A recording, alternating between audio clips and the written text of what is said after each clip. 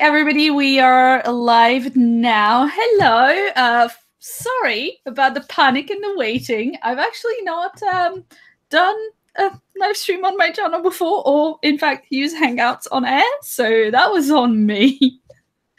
Uh, and I hope you can't hear my main computer chugging in the background because it is uh, it is rendering a video. So there you go. Uh, guys, do you want to introduce yourselves?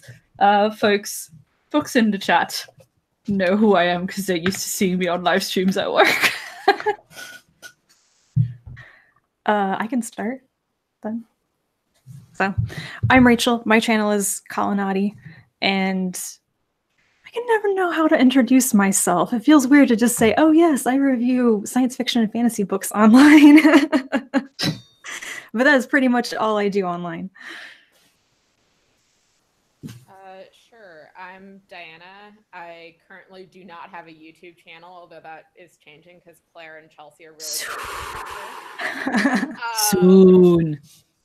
And I re I have a lot of varied reading interests right now. It's a lot of stuff about plagues and epidemiology because diseases are really cool. Uh, okay, and I am Reija from the channel The Book Finch, and I also don't know how to introduce myself like ever. Ray is a Finn. She's real salty. Important information. Uh, Cool. Hi, welcome everyone in chat. I'm gonna keep an eye on chat and keep an eye on uh, the stream at the same time. So, uh, for those of you who haven't seen our first Stitch and Bitch live stream or who haven't heard about our reading blanket projects, uh, we're all we're all here with large stashes of yarn, um, and we are making blankets, scarves, various projects that uh, track our reading because, you know, um, having YouTube channels about books is not nerdy enough. We have to like encode the reading within a blanket. We are waiting on a couple more people, uh, hopefully. And yeah, we know uh, Diana has uh, an issue with her volume. This we were trying to figure it out whilst I was also trying to figure out how to set this up. Uh, and yeah, think that there was an incident with her uh, with her headphone microphone uh, recently, and so now she's having to use her computer. So uh, bear with that. We're just gonna make her be loud. I, I can try and be loud. There you go. Uh, do you guys wanna do you guys wanna go ahead and talk a bit about uh, what you're reading right now? Sure. I actually have my books with me. Yes. Last time I didn't. I'm, I'm always in the middle of so many things I can't keep track of what I'm actually working on. So I'm reading The Pinhoe Egg, which I love these editions of these books. It's by Diana Wynne Jones. It's the last of the Chrestomanci books, and it's my my reread. Um, I have a terribly disgusting story about reading this the first time, so I'm trying to generate new memories while rereading this. Um, and then I got the new Flavia de Luce mystery novel from the library yesterday. I haven't started it yet, but I'm really excited. I may have surprised the librarian who was checking me out. She was like, wow, you're really into this, aren't you? and then I'm working on this chunker, which is, what is this called? Power and Light is the second volume out of like six of all the collected stories of Roger Zelazny. And uh, there's some really old like sword and sorcery stories in this collection which are so boring. So boring. I enjoy roger zelazny quite a bit but the dilvish stories which is like his version of conan the barbarian fantasy world that he could just write serial stories in it's so boring. I, I skim read all four of the first stories. I could not bear to pay more attention to them than that. Um, so I kind of paused reading that after getting through those stories. So that's the main stuff I'm in the middle of. I also actually came well prepared and have the books.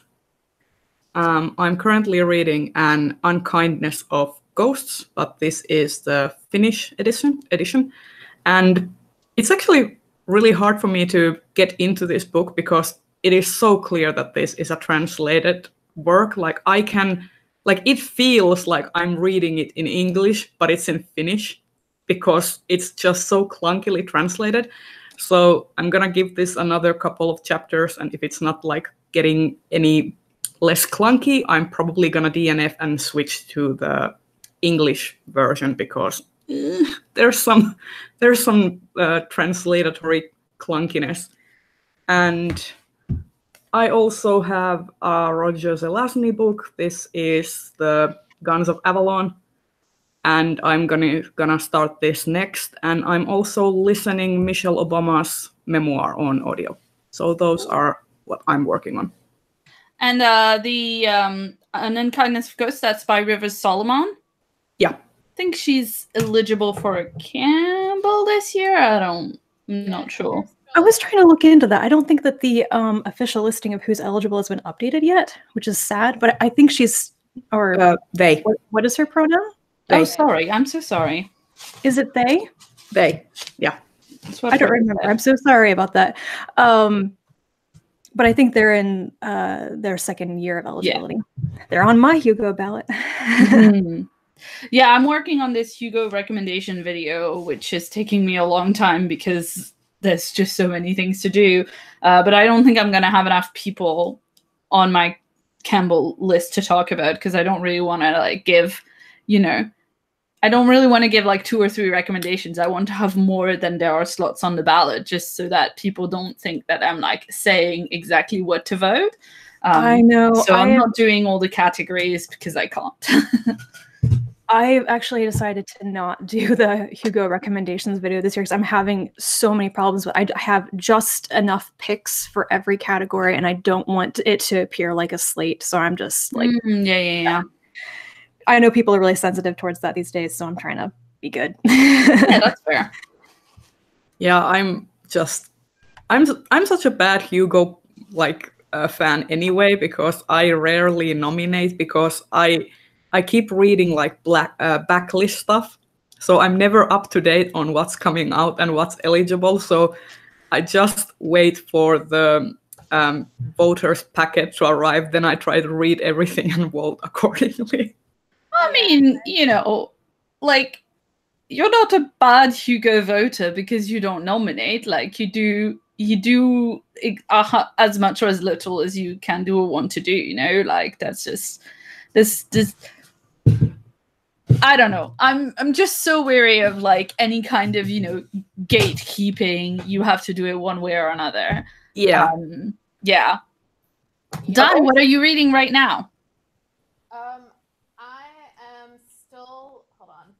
I have so many books here. Um, I'm still. Ah, hi cat. Um, I'm still reading the Imperfect Justice one. I kind of paused on it because I had a lot more library books that were due. Um, first. Oh, Um, you know, you told me about that book, but I did not realize it had that cover. That's certainly a choice. Yeah, well, because so I mean, it may the book is about the efforts to um de- get first get um Swiss banks bank accounts that were initially opened um by European Jews back to their descendants, or to figure out what had happened to um, the Swiss bank accounts of uh, people who had been killed by the Nazis. Mm. Um, so that was part of it. And then I'm getting to the second part of it now where they're getting trying to get reparations from uh, ger- from ger- mostly German companies that used slave labor during World War II. Yeah. Um what else are you reading? And can I get you to try and shout because people in chat can't hear you? Uh, Well, um, you know what I mean. Shout. Yeah, I'm. I might switch computers and see if my other computer is working better. Yeah, Uh, sure. So I might leave for a little bit, but I'm also reading a romance novel. But I'm gonna go grab my Yeah. computer. That might work better. I'll be Yeah, back. for me as well because I uh, I, I can't I can't push my uh, headphones any louder than this. I'll, I'll be back. Cool.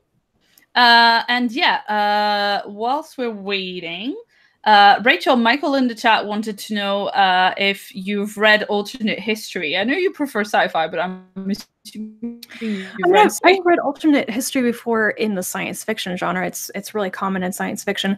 I literally just uploaded a review of an alternate history Oh my god, um, it's so good. science fiction novel. So that will be out in a couple of hours. Oh, I'm sorry. I thought you meant the haunting of Tramcar 015. Well, no, no. very I mean, good, that is alternate history, but I literally just got done editing a different review video right before coming to this live show. So, um, yes, I I do read alternate history. Yeah, uh, and uh, the haunting of Tramcar 015 is by P. Djèlí Clark, and I've just read that this month on audio. It was really, really cool. Uh, and yeah, that's like yeah, that's a it's a alternate history set in Cairo, and it's about a haunted tram car and like two agents trying to two agents working for like this ministry of uh weird occurrences. I can't. I should have written down like the actual wording of it because it's cool. Um, but they're just trying to figure out how to de-haunt the tram car. Uh, and then we've got uh, we've got I just read? Uh, I just read uh, Alice Payne Arrives, which is a time travel novella, which is uh quite quite cool. I mean, it's I don't know. I was just talking recently about a bunch of friends on Slack about like how, you know, there's been some good stuff in SFF in the past year, and we are currently like in this very lucky period of like great SFF coming out, but it's not like you know, in other years, you're like, what are the great things? And there's like 10 of them. You know, there's just so many of them you can't like choose for something like the ballot um the hugo ballot and whatever and i feel like this year there are really more um there are really more like um like a more concentrated amount of stuff that is you know that that's come to prominence if that makes sense. And there's a lot of crossover on all of the awards list and i expect to see more when we get to the hugos There's so like I've also noticed that uh, in the last like say four years, like the the the roster has become more colorful. like it's not mm-hmm. it's not pure white toast. like oh, yeah of course that's there's really nice. Like I, I've been really excited about all the new debut authors that are Yeah. like on Twitter and promoting their books, and I've been just like, yes, more of this, please. Like I'm I'm just so thrilled of all the like new stuff that's coming out, and this was a very bad year to start my year-long book buying ban. no. yeah, no, I'm just I, I I keep trying to make myself not buy as many books and I just don't, you know. Eh. I I did successfully not buy a single book in January. It was really hard. But then I was in, but then I was in a bookstore, two bookstores in February, and like I I, I have to get something. I I didn't have enough willpower. Yeah, but now you're allowed. uh, well, technically, I shouldn't buy anything until May. You saving up for Worldcon? Um, well, I have an actual like limited budget each month, and I've pre-spent stuff. That's my problem. Um, so, but yeah, I'm I'm saving a lot of my my book budget for Worldcon. Mm. You you know I'm gonna show up and just be looking for all of the science fiction masterworks. Obviously, that makes sense. I mean, yeah, hopefully we won't have as much of the issue that uh, we had at um, Worldcon 75 in Helsinki, where there weren't that many bookstores at the convention at all because books are very heavy and bookstores didn't travel to the con. Hopefully, we'll see like Dublin based local bookstores. Uh, but we also like in the UK, we there are so many books we don't get you know um it's obviously it's nothing on you know how tricky it is to find recent sff in english in other like european countries but I feel like, like Dublin is so gonna be. presses I feel like Dublin is gonna be a bit di- different because in Mm. like from what I've heard from reading the the the, the progress reports, uh, they are going to try and bring like indie publishers that are based in Ireland and also like all the UK publishers like are probably gonna have some sort of presence there. And that was a problem in the Finnish Worldcon because Finland doesn't have like a lot of book publishers because we are so small. So yeah, that that definitely was an issue uh, there as well. I would be so surprised if Gollancz doesn't have a presence. in oh yeah Dublin. yeah yeah of course I mean, like, and the, everything on my shopping list is going to be published by Gollancz. That's all I'm hoping for. so old dudes then eh look i know they're Probably gonna trying have to travel with an empty. I know they're trying, but I just I the SFF Masterworks list is really like like they could make more of an effort. You know, I've wondered how they choose books for the SF Masterworks line. I mean, it's been running for decades now.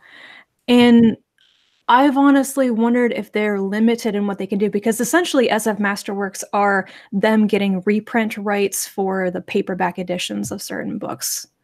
And I could see that being a real problem if they if they can't get the rights for the paperbacks or something. But on the other hand, I keep reading books by women that I'm like, why isn't this in the SF Masterworks line, guys? Mm. and it's a little annoying. But, you know, if you're doing a project like reading Clarke Award winners or reading the Hugo and Nebula Award winners, you can find so many of those winners in that line. Yeah, I mean, look, rather you than me, friend. I think I wouldn't. Uh, I really. Don't I've read all those books, doing- Claire. You won't like them. I mean, I've looked at it. I've looked at it, maybe doing it at some point, but I just can't bring myself to it. I'm just, um, yeah.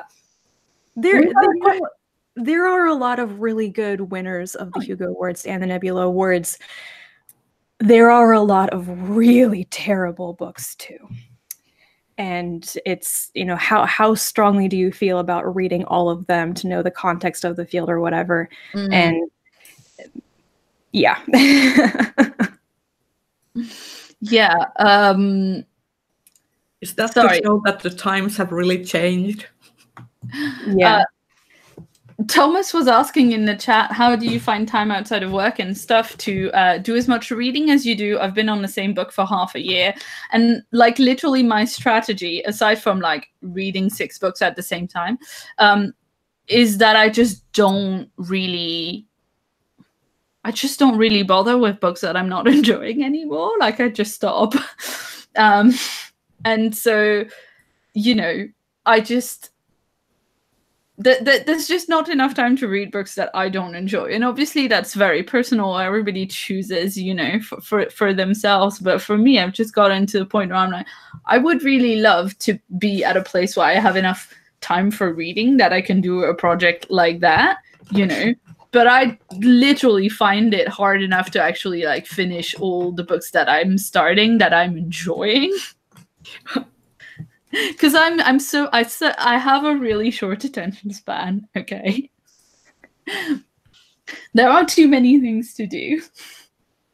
And I yeah, and I also, you know, if you're going to put the time in like reading the awards shortlist like if you have time to do current ones and and older ones then great but like if i have time for a new one set then i'm gonna try and do like this year right um yeah and speaking of this this is what i'm reading right now space opera by uh catherynne m valente I want Um, to read that one. soon. This is um, so. This is the one where it's Eurovision in space, um, and the, the, I've never read a Cat Valente book before, and I was not really expecting the like the lushness of the prose. I don't know if all of her books are like this, but Yeah. there's literally a chapter that's like five pages of describing in such incredible amount of details like the moment this band like does their first concert and it's like five pages from they're stepping up on stage to like they're shouting the name of the band and starting to sing. Like seriously. I'm reading it before bed and it's just this nice slow pace and it's just like i mean i'm not really super far into it. Um we've had the life story of this guy uh decibel jones and then aliens have showed up and told him he has to do space eurovision for the survival of the human species. And and he banged the alien. And now they've just like literally they're putting the band back together now. It's like a 100 pages in. So I yeah I, I it's felt like an that book experience. I've been following her on Twitter for such a long time, and I was like, finally, a Cat Valente book. It's like, wow, this is on crack. Yeah, I, I think space opera is pretty much Valente at her least reined in. The, the book is all style, very little substance. It's just, I think she just had so much fun writing it. Um, I, I thought it was a little out, out of hand, but I enjoyed the Eurovision and space aspect. It was very Hitchhiker's Guide to the Galaxy in the whole you must show up and do this or we will destroy planet Earth or whatever. Oh, now I definitely want to read it. way way out there uh, not even trying to be logical um, so i mean i think if you like uh, douglas adams you'll like space opera but Yeah. but Uh, I'm ah, sorry. I would say my my favorite thing by valente is her fairyland books for kids it's i think just her her style the lushness just i I think she has so much joy in using language, and it works so so well in the Fairyland books, and for kids.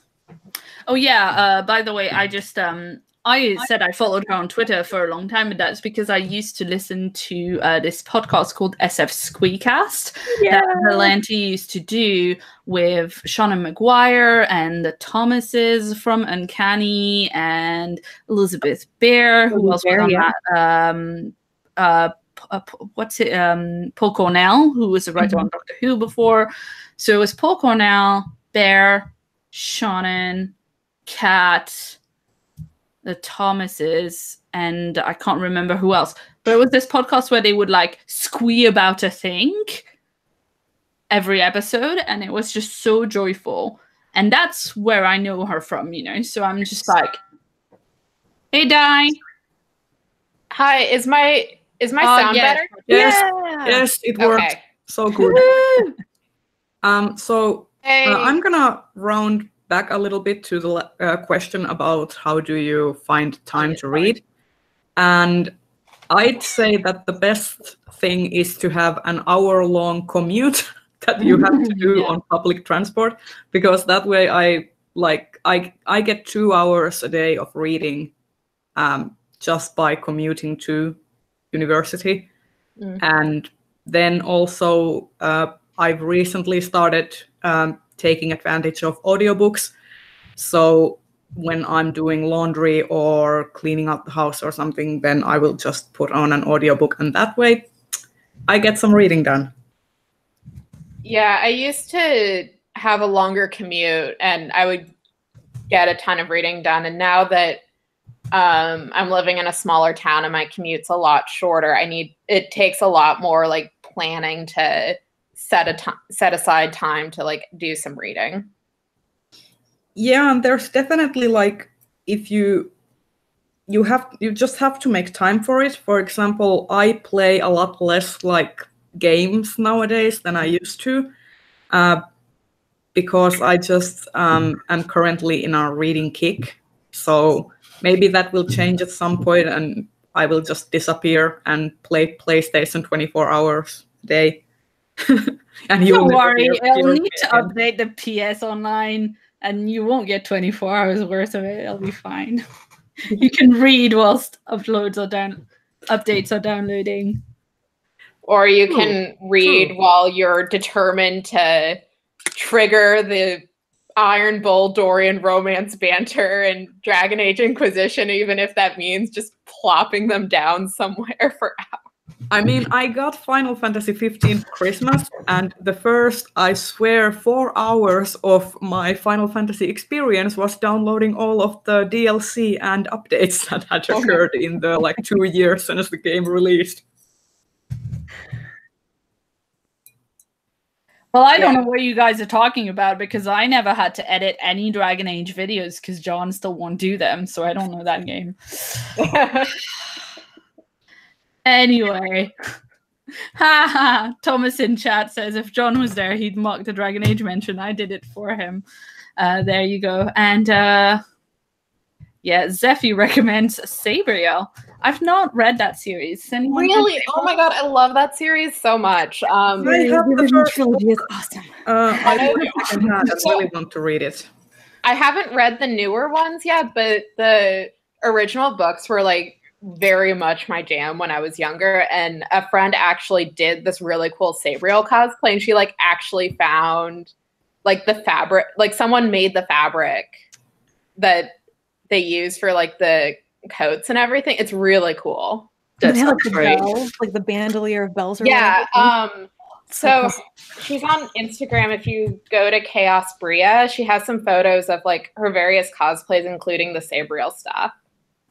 I really love it when people do like um, cosplay from like books or Mm. like stuff that isn't visual because I really love that that sort of like you get to design your own like interpretation of the costumes in and that character and I just find it really uh, fascinating and fun like um, that's what I try to do as well when I'm doing like uh, cosplay work.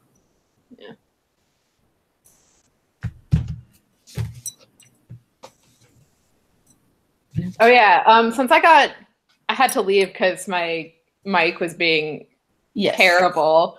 Um, aside from the Imperfect Justice, I'm also reading a romance book uh, by Mia Hopkins called Thirsty because I guess it's going to be the next book club pick for One in Romance. And one of my libraries happened to have it, so I decided to check it out. Cool. Uh, yeah, I'm. I'm wanting. I'm always wanting to make time to read more romance novels, but like especially recently with the plagiarism shenanigans that have been happening on Twitter, that have been unfolding over Twitter. What's that about, really? Like I've, I've okay, been- well, like the rabbit hole. I've, I haven't gotten that far into it. the So, tea. like, well, it's just in so many different directions, right? What happened is uh, a reader alerted Courtney Milan, who is like a best-selling romance writer, who, you know, happened to be a clerk on the Supreme Court. Yep. Um, and is a lawyer specializing in IP, that some of her book had been plagiarized. Like there's some word for word, like you know, side by side, really shot, like pretty obvious uh Mhm. stuff that that she's posted on her Twitter. And like from that point, from like seeing this author, uh, Cristiane Serruya, um, and like what from from that one piece of plagiarism, like they traced her plagiarizing from like 15, 20 different authors like And across her also, like, various books. Plagiarizing recipes. Oh my god, like plagiarizing just like any old like, you know, here's a like Wikipedia page about this thing. You know, like just every time she wanted to explain something. Sorry, that was there was something on my uh, on my computer. but Anyway. how? Isn't that li- like really obvious? Like I mean, it is really drawing? obvious. And also, if you're gonna do it, maybe don't do it to someone who's a freaking IP lawyer. Well, and and then she was all, "Oh, well, I used a ghostwriter, and it was the ghostwriter's fault." And so two of not for this particular book, but two other ghostwriters she had worked with in the past were like, yeah, so first of all, she sent us all these mishmash scenes that didn't make any sense. So we had to like make them make sense. So it looks like she like plagiarized the stuff and sent it to the ghostwriters to put into something more coherent. Right. And then she like didn't pay them. Yeah, and also she was saying that she hired those ghostwriters on Fiverr, and But- like then people started looking up like how much people get paid to write words on Fiverr, and it was like you know, I don't know, like five dollars for thousands of words. You know, like something that's really just like you're not even talking about below the minimum wage it's like just scraping you can't eat food you know and it's just that but yeah also she apparently plagiarized from nora roberts and it turns out nora roberts is apparently like a dragon lady and is going to uh you know she's not on twitter so it took her a couple of days to like figure it out but now that she's heard about it these people are all fucked. Oh Yeah, I read her. I read her. Like, Nora Roberts and it has, like, amazing. her, um, so like her net worth could hire like a bunch of like lawyers. All right. I mean, doesn't she? Didn't she literally end the blog post with "I'm coming for you"? I know. Be afraid. Yep. I have never read any of her books, and I never really had a high opinion of them. But I really love her now, just as a person. The audacity of pe- some people. Well, and it sounds like this isn't the first time like something like this has happened to Nora Robert. Like she, in her Yeah. blog, like in her blog post, she was talking about this other thing, and so like, it, she has the money, she has the connections to just like make to like take people down and like take care of it. Mhm. But a couple of months ago, when when she had that beef with, um, you know, um, Tomi uh, she also in that blog post um, referenced a situation where she herself had been plagiarized, and that's why she was really upset. Of Yeah, but I mean, like that's just Tomi Adeyemi being like a new writer and yeah, yeah, yeah. Like that's, that's beside like that. I'm not. I'm not getting into that, but I mean, No, I Like, mean, I just I- felt that's just that's just uh, i remember that she's very uh, tight on plagiarism accusations so that's what i was uh, going no, after no. I know what you mean. I know what you mean. I just, you know, then and again now, I just feel bad because I'm like, what? Where? Where were Tomi Adeyemi's people to stop her doing that? Yeah, Because, you know like that was Yeah. just not that's the kind of thing like you're supposed to text your friend and be like is this a thing and your friend can be like that's not how book titles work yeah or you know your agent or Yeah, whatever that- the people who you are paying to do that work for you Yeah. It's like I'm not, I'm not even i'm not even mad because like if you if you think about it i i just uh generally uh if if like going back to that thing for a bit um i generally think that when young female authors do stuff they get scrutinized way more than someone like for example terry goodkind's assholery about the whole cover art thing that was just a blip in the radar like and people are still Yeah. mad at this thing that like really nobody got hurt in the end just no. just you know calm down. Let people live. I mean to be fair the guy who designed the cover for terry goodkind like goodkind showed his ass in public at exactly the right time that this guy ended up on the hugo ballot last year. Yeah Oh, and yeah. also the new terry goodkind has a different uh, the, the sequel to that book that he berated the cover um, has a different cover artist. Yeah i I mean, wonder why. For sure for sure. I mean you know the guy um the guy with the french sounding name that i don't remember is clearly a very you know is clearly a very good artist that's made like a really great cover but you know uh, it was uh, just funny how it worked out um cool let's see Ooh. Okay. Um, what are how, how are you guys' projects progressing? Because I have not touched my thing since last stream, and I'm like trying to make sure that the stream is working fine, and I'm like still not started doing anything with my hands, and it's been 45 minutes. I'm mostly caught up on my scarf right now. Um, it's gonna be long, which is good. Um, so I'm working on, on a different project right now.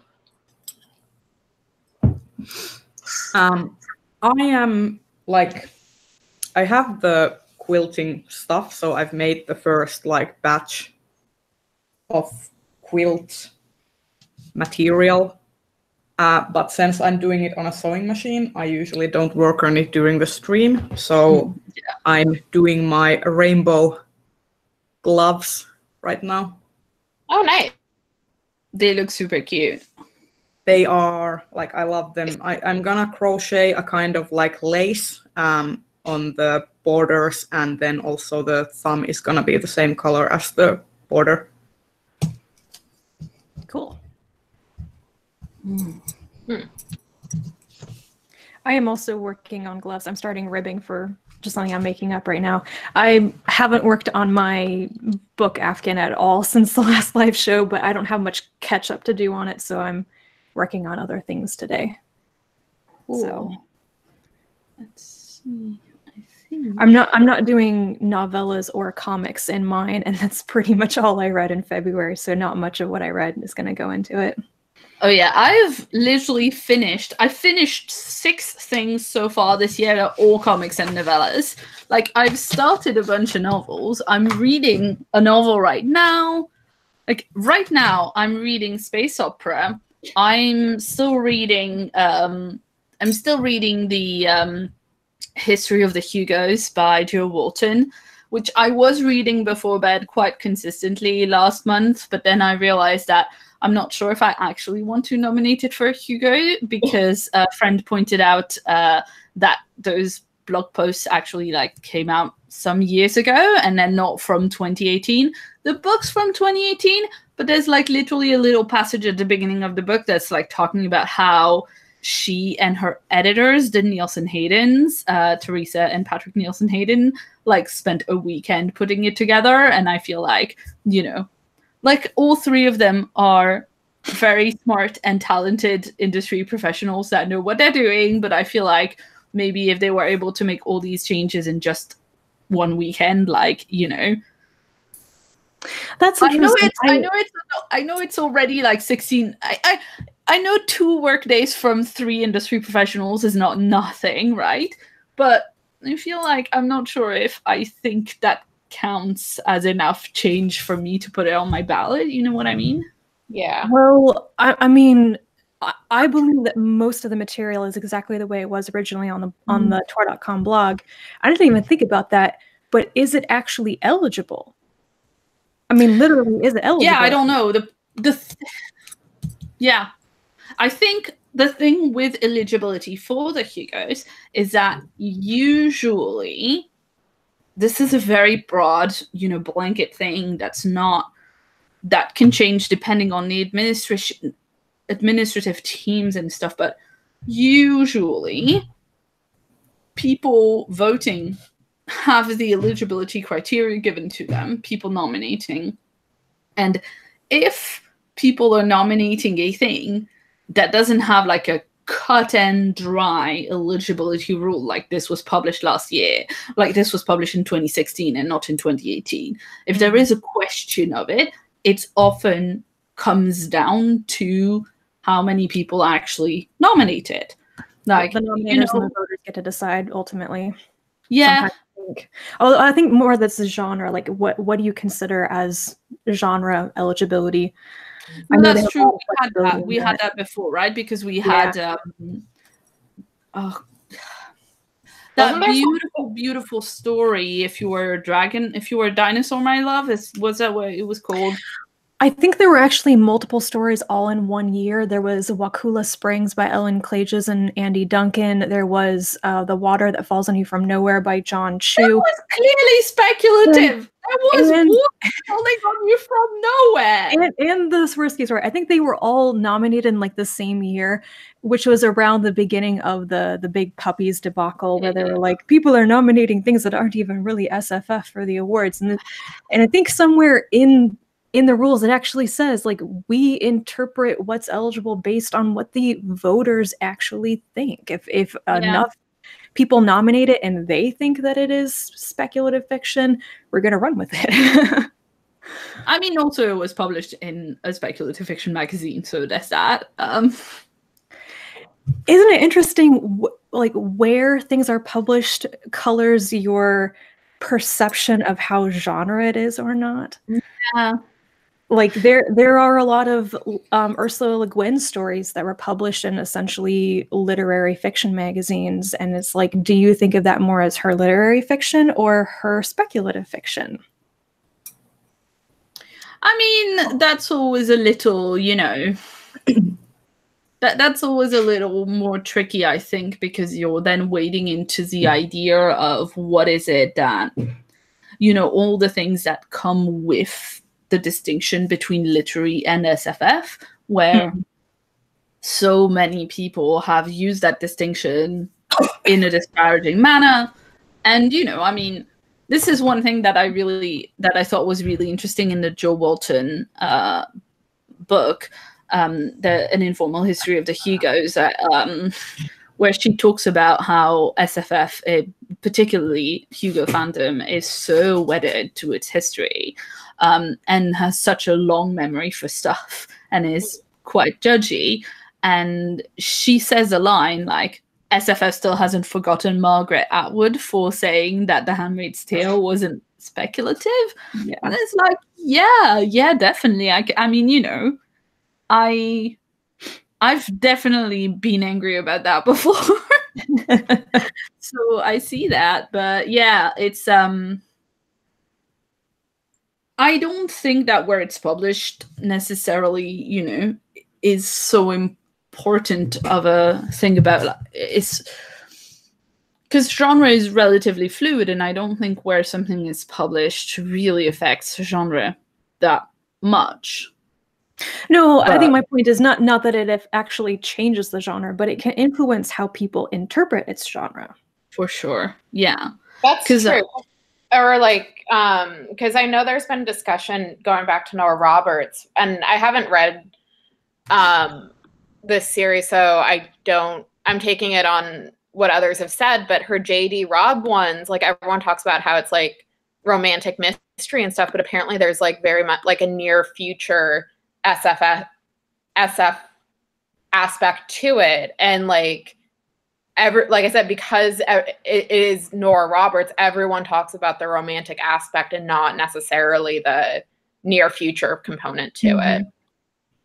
yeah i mean it's the same it's funny i was um you know i'm i'm i follow on twitter one of the well i follow both of them but uh, i was talking on twitter with one of the uh, two uh, women who write under the pseudonym Kit Rocha uh, and they write you know uh, they write this like dystopian future erotica which is you know very popular in uh, the romance genre, but like they are a romance writing team, right? Or that's what I've always known them as.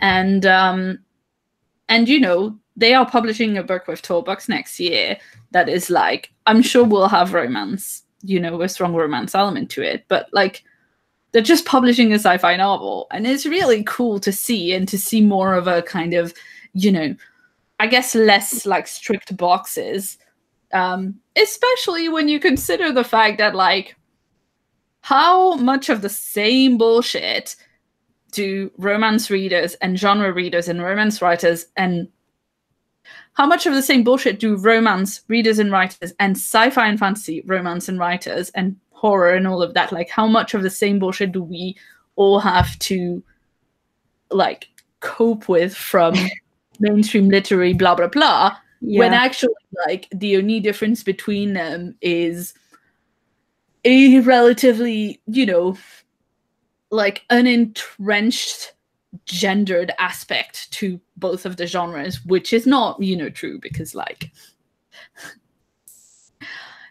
you will be shocked to hear we've had women and and folks of all gender enjoying science fiction and fantasy for a very, very Wait, long you mean time. they're writing science fiction and fantasy, and they aren't just automatically writing YA, Claire?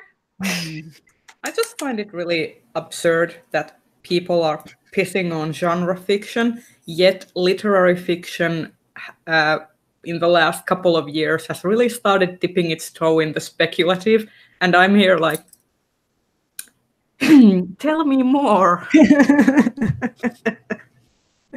I mean, look, dragons and spaceships are just cooler than, you know, Yeah. a novel about a professor who like wants to have an affair with a student and buy a fast car because he's feeling or old. another or another like treatise on the effect of alcoholi- alcoholistic parents on uh, children But you can do all of that, but also have spaceships and dragons and Yeah, like smoochies. yeah. right?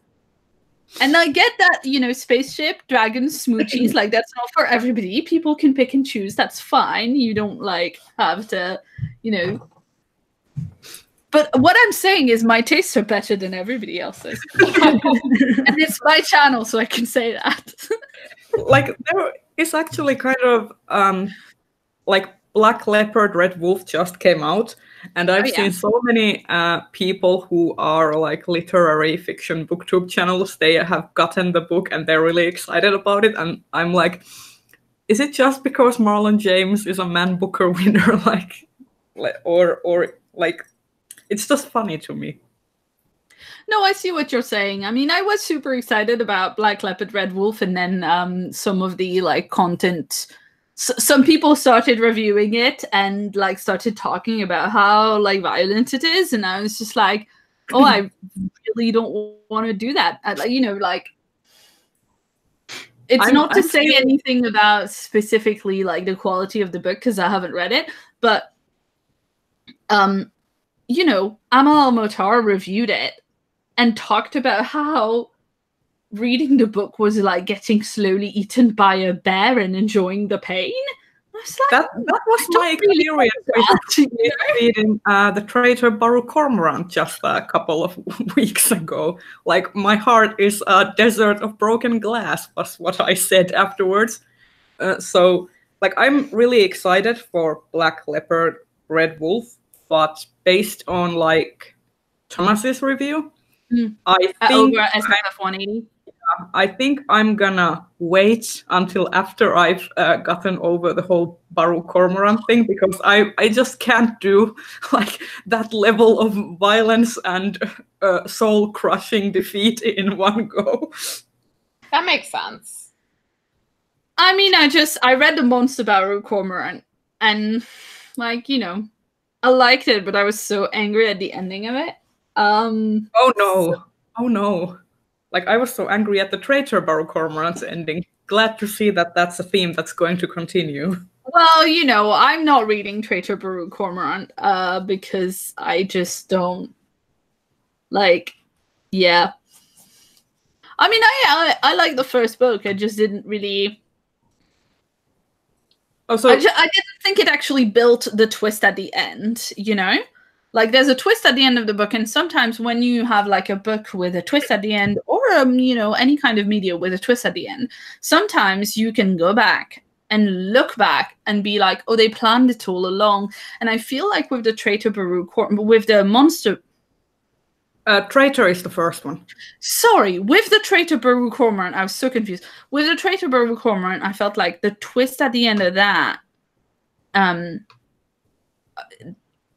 I just didn't really get, get it, you know. Um, yeah i can i can kind of see where you're where you're coming from like i didn't i didn't mind it uh it it, it broke me mentally but um i can definitely see that um where you would want more uh like foreshadowing and development for that uh particular ending to be more effective. Right, because when you get like emotionally invested in a thing, and then something happens and it gets flipped and you're like wait what? Like it feels like treason to you which like the book has traitor in the title so perhaps we should have known but like yeah it's just It's kind of like when uh, Adam Silvera wrote "We both die at the end," and there were people that, well, I thought it was a metaphor for something. I didn't expect them to. they both die at the end yeah yeah yeah they both die at the end is about a world where like they know that they only have a day left to live and then they have like a cutesy romance and then they both die at the end because that's the premise of the book. But i appreciate the upfrontness you know like they both die at the end is like having a tag for major character death on your fanfic. Like i like that.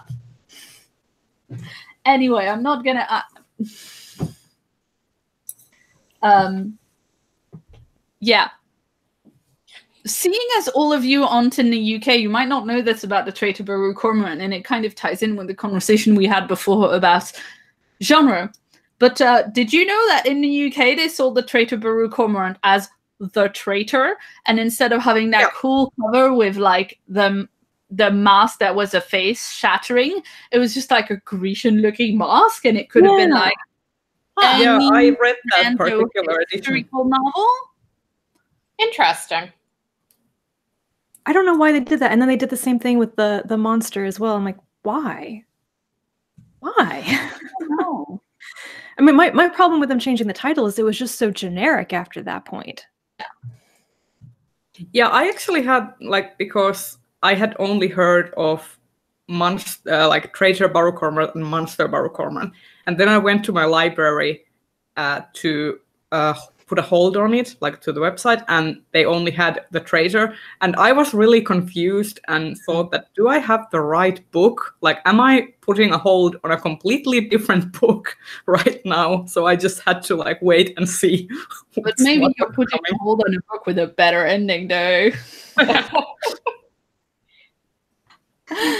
oh dear. Okay. Uh, folks, do you have what, what? Do you have grand plans of what you're planning to read next? My next reading project is going to be uh, reading some BookTube SFF Awards uh, finalists because, of course, uh, uh, you know, finalist list is out now judging is happening in the next few months. Well, judging readings happening in the next few months, and then we have to vote on stuff, and it's pretty exciting. Um, but aside from that, before the Hugo's finalists come out, I don't really have like big projects that I'm working on. I might finally do that new canon Star Wars read reread read through that I keep threatening to do to myself. Mostly because I keep buying the books and then not reading them. Di, if you start a YouTube channel about books, it'd be a great project to chart on that new YouTube channel about books that we definitely want you to be doing. Yeah. Um Just I think it'll about it. interesting You have four like- subscribers at least from the get go. Yeah. Um, hold on. Okay. Um, so like, especially with Star Wars, like the new canon stuff, um, like there's there have been things that they've planted in books that like come out later, and you're just like, oh shit, I did not see that coming. And also, there's a rumor about who a new character is going to be in episode nine, and if it's true, that'll be great because they'll be bringing in a book character, not Rae Slo- Sloane, unfortunately, um, but they'll be bringing in a book character who is terrible, and I hate him, but it would also be very cool.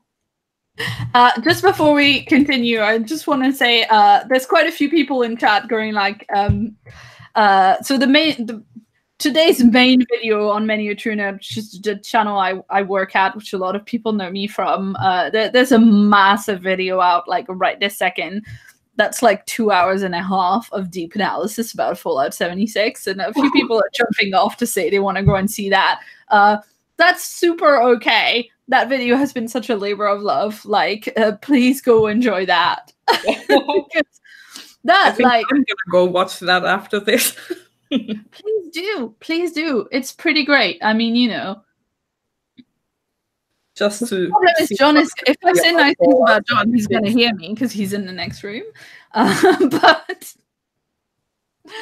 uh, but yeah, no, it's it's pretty great. I did the, I edited the like um the um, I did a first draft uh, edit pass on the audio of that video, so I know like the he's done like fifty pickups on it, so I'm sure it's changed quite a bit. But like it was really interesting. So uh, you know, um, anyway, it was really interesting, and I don't even like I'm I'm I'm not really a Fallout player at all, and I was quite interested. So there you go.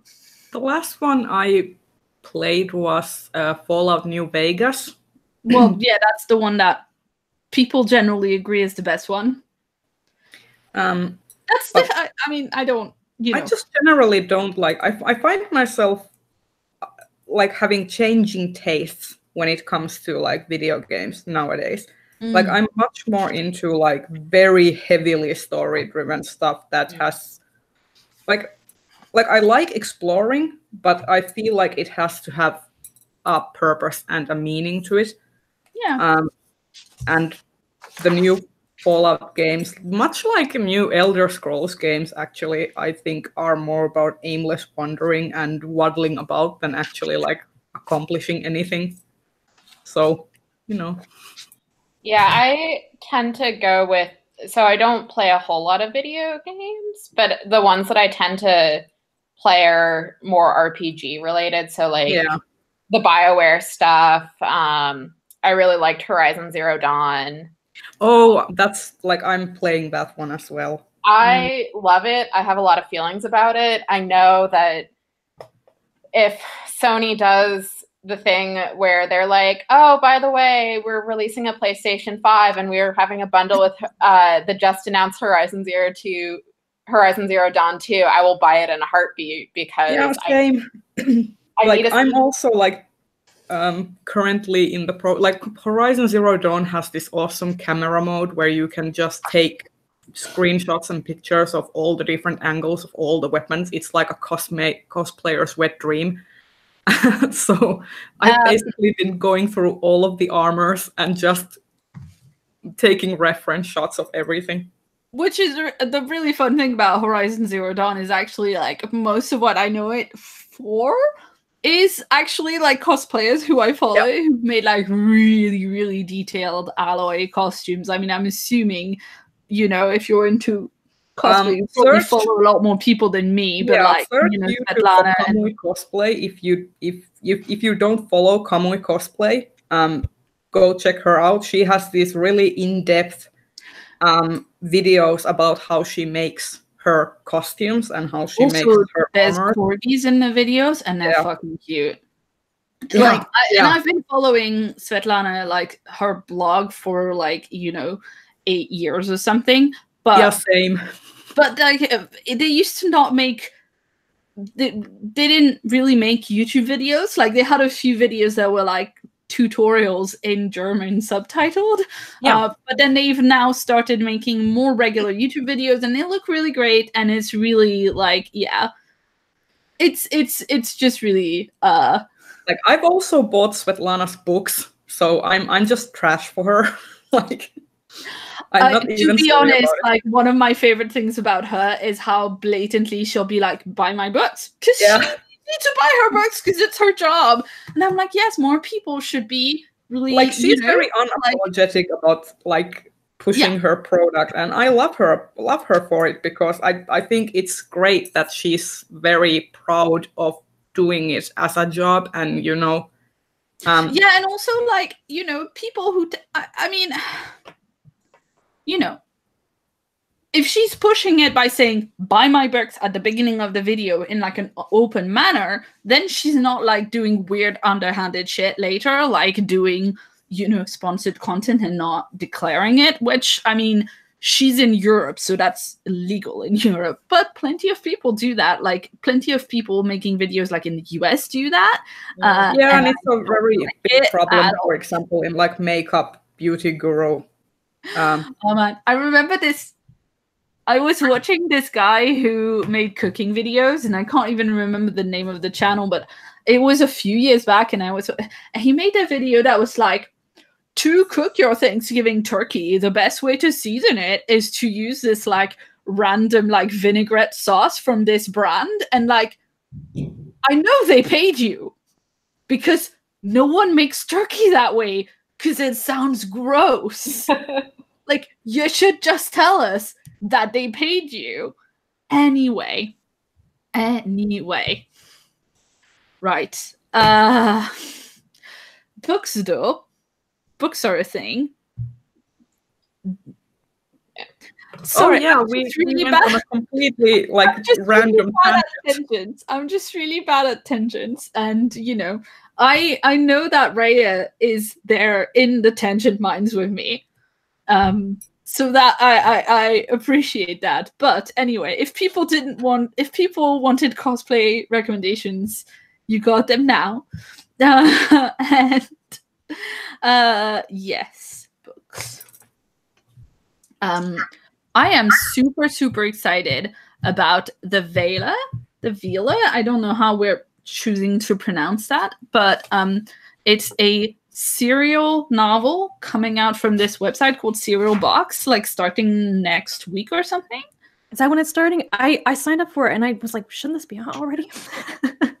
Uh, it's starting r- relatively soon, I think. Um, and it's yeah, I think it's starting soon because I got like a a promo for it. I got a promo email for it the other day that was like, you know, if you can't wait to start under Vela, buy some of our other stuff twenty five percent off. yeah. Oh, I And might. no, This I is might the think one. I mean, I I subscribed to it immediately because it had Yoon Ha Lee's name on. I'm like sold. Yoon Ha Lee, Rivers Solomon, Becky Chambers, Wow. and uh, another person who's equally cool. Shit. Okay, let me Google it. Brain I fart. think. Th- Those are the three that I immediately recognized. Yeah.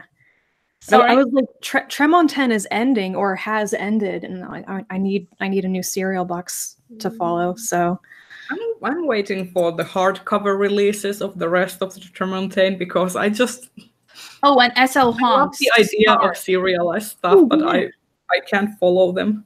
Yeah. I listened to all of Tremontaine um, on audio because the the audio productions are fantastic. They've kept um, Katherine Kellgren as the Duchess Tremontaine. She's been the voice of the Duchess Tremontaine for decades now, I think, and she does such a good job. Interesting. I might have to look into that, like the audio versions. I do want to um, get the one that they did with Gwenda Bond, um, Dead Air, just because there's another like book podcast um, combo that I want to that I'm on hold on for, and I kind of want to read and compare the two because they're both like very different. They're both takes on like the true crime podcast, and they have accompanying podcasts. Yeah, a lot of people in the chat are saying that they're not loving the serial format. And I have to say, I'm usually not into the serial format, but I also got a review copy of the Veilist, so I don't have to do the serial format. Lucky duck. Like I, I know I it's like I'm always is missing missing some stuff. Like if I if like We have a like Chelsea. following following a serial is kind of makes me anxious. Kind of like if you have a TV show that you need to watch. Chelsea. Hello, friends. Hello. Better late than never. Hi. Hello. Hi. Welcome. I have been watching. I have been waiting for the Rugrat to finally go to sleep, but I have been watching everybody. How is how is everybody doing? Yay. Wait, a challenger has appeared. Mm. Cool. Oh, so Chelsea, do you want to tell us what you're reading and what you're doing? Oh goodness, uh, I am alternating back, and I'm trying to get uh, somewhat caught up for book two of the SFF because it's the thing that's happening like now. Surprise uh, is how I feel pretty much all the time during the award season. Chelsea talked me. Well, Chelsea didn't talk me into it. She asked, and I said yes immediately. But she also said, she also said, "Oh, don't worry, there won't be too much reading because it's likely to be stuff you've already read." And I've like read none of them because apparently I'm not into the stuff that the cool kids on BookTube like. asterisks and caveats, but uh, it would be a lot less reading if I had any kind of memory retention. But like, so one of the Murderbot books, and then beneath the beneath sugar skies or whatever it is, the Wayward Children Yeah. book about nominated, and it's been long enough since I read the first couple Mm. and their novellas that I was like, I'm just going to go back and reread them. Yeah, fair enough. Like so that's thing- what I've been doing. the Murderbot books I read, Hi, like Pat. oh hello. Oh, kitty. um the murder book the murderbot novellas i read the first one when it came out and then i read the th- next three like within a week of each other Yeah. so i have no idea which one artificial condition is i mean i know it's like the second one but i have no idea what happens in it because it's all smushed Mhm. So and like I, it's like it was just it's a me thing. It's been long enough since the last awards that I'll probably go back. We have enough sequels that I'll just go back and reread yeah a bunch of them. I make more work for myself than I actually need to. But what else is new? yeah um cool okay so what are you making Chels?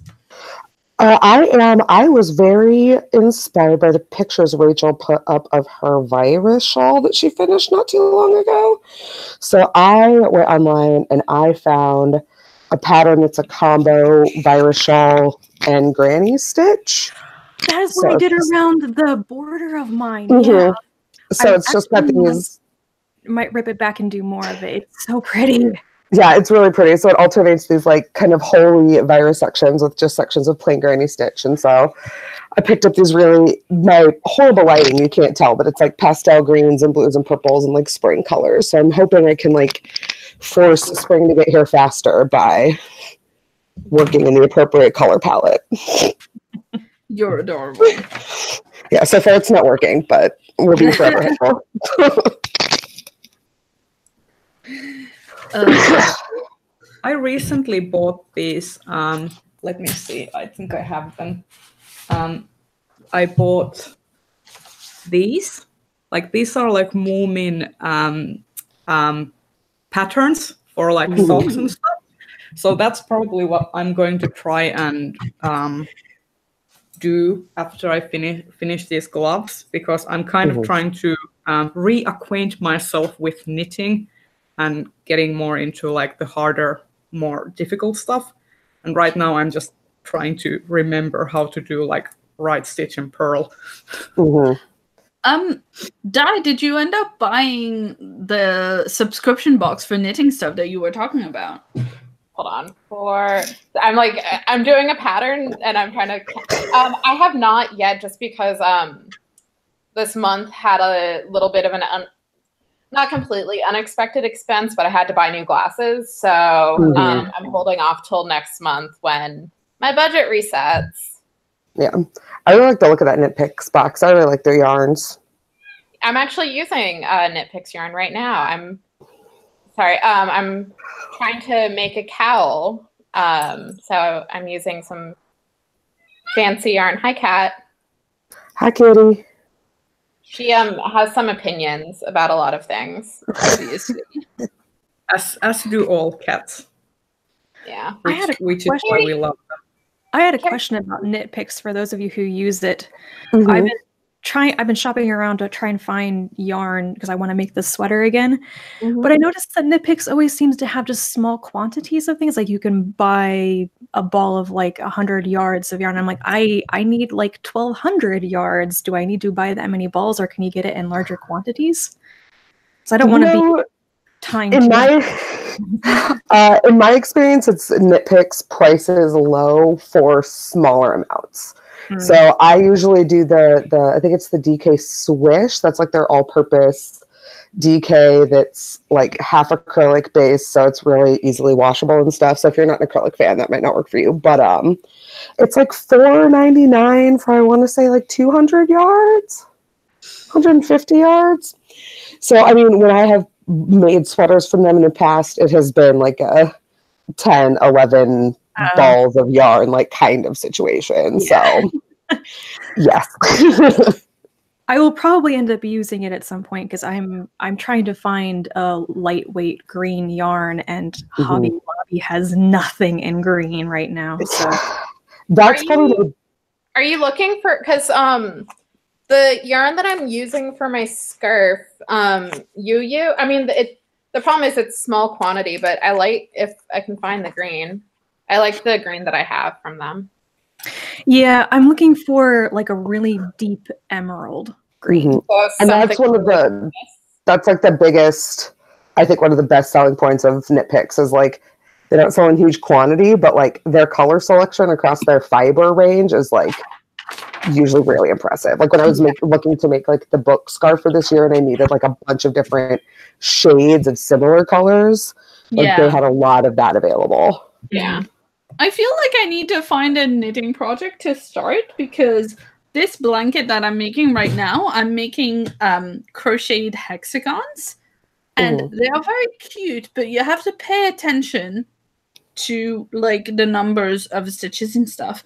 And so, like, I can't actually do that while I'm talking to you guys. I I made like one of them in the last stream, and I'm like struggling to even start now. I feel like I need to reserve time to do this blanket like you know in the evening when i'm listening to an audiobook or something. That's what i pretty much do 85% and then of like the time. you know get a project that's like a repetitive enough stitch that i don't have to think about it. Um but also i really i don't actually you know i really want to do i really want to do um that like dragon scale motif that uh you found rachel. Oh, the crocodile crocheted stitch Is yeah that the crocheted one or or the knitted one that Bree found? ooh Because there are both. You can do the same stitch with both.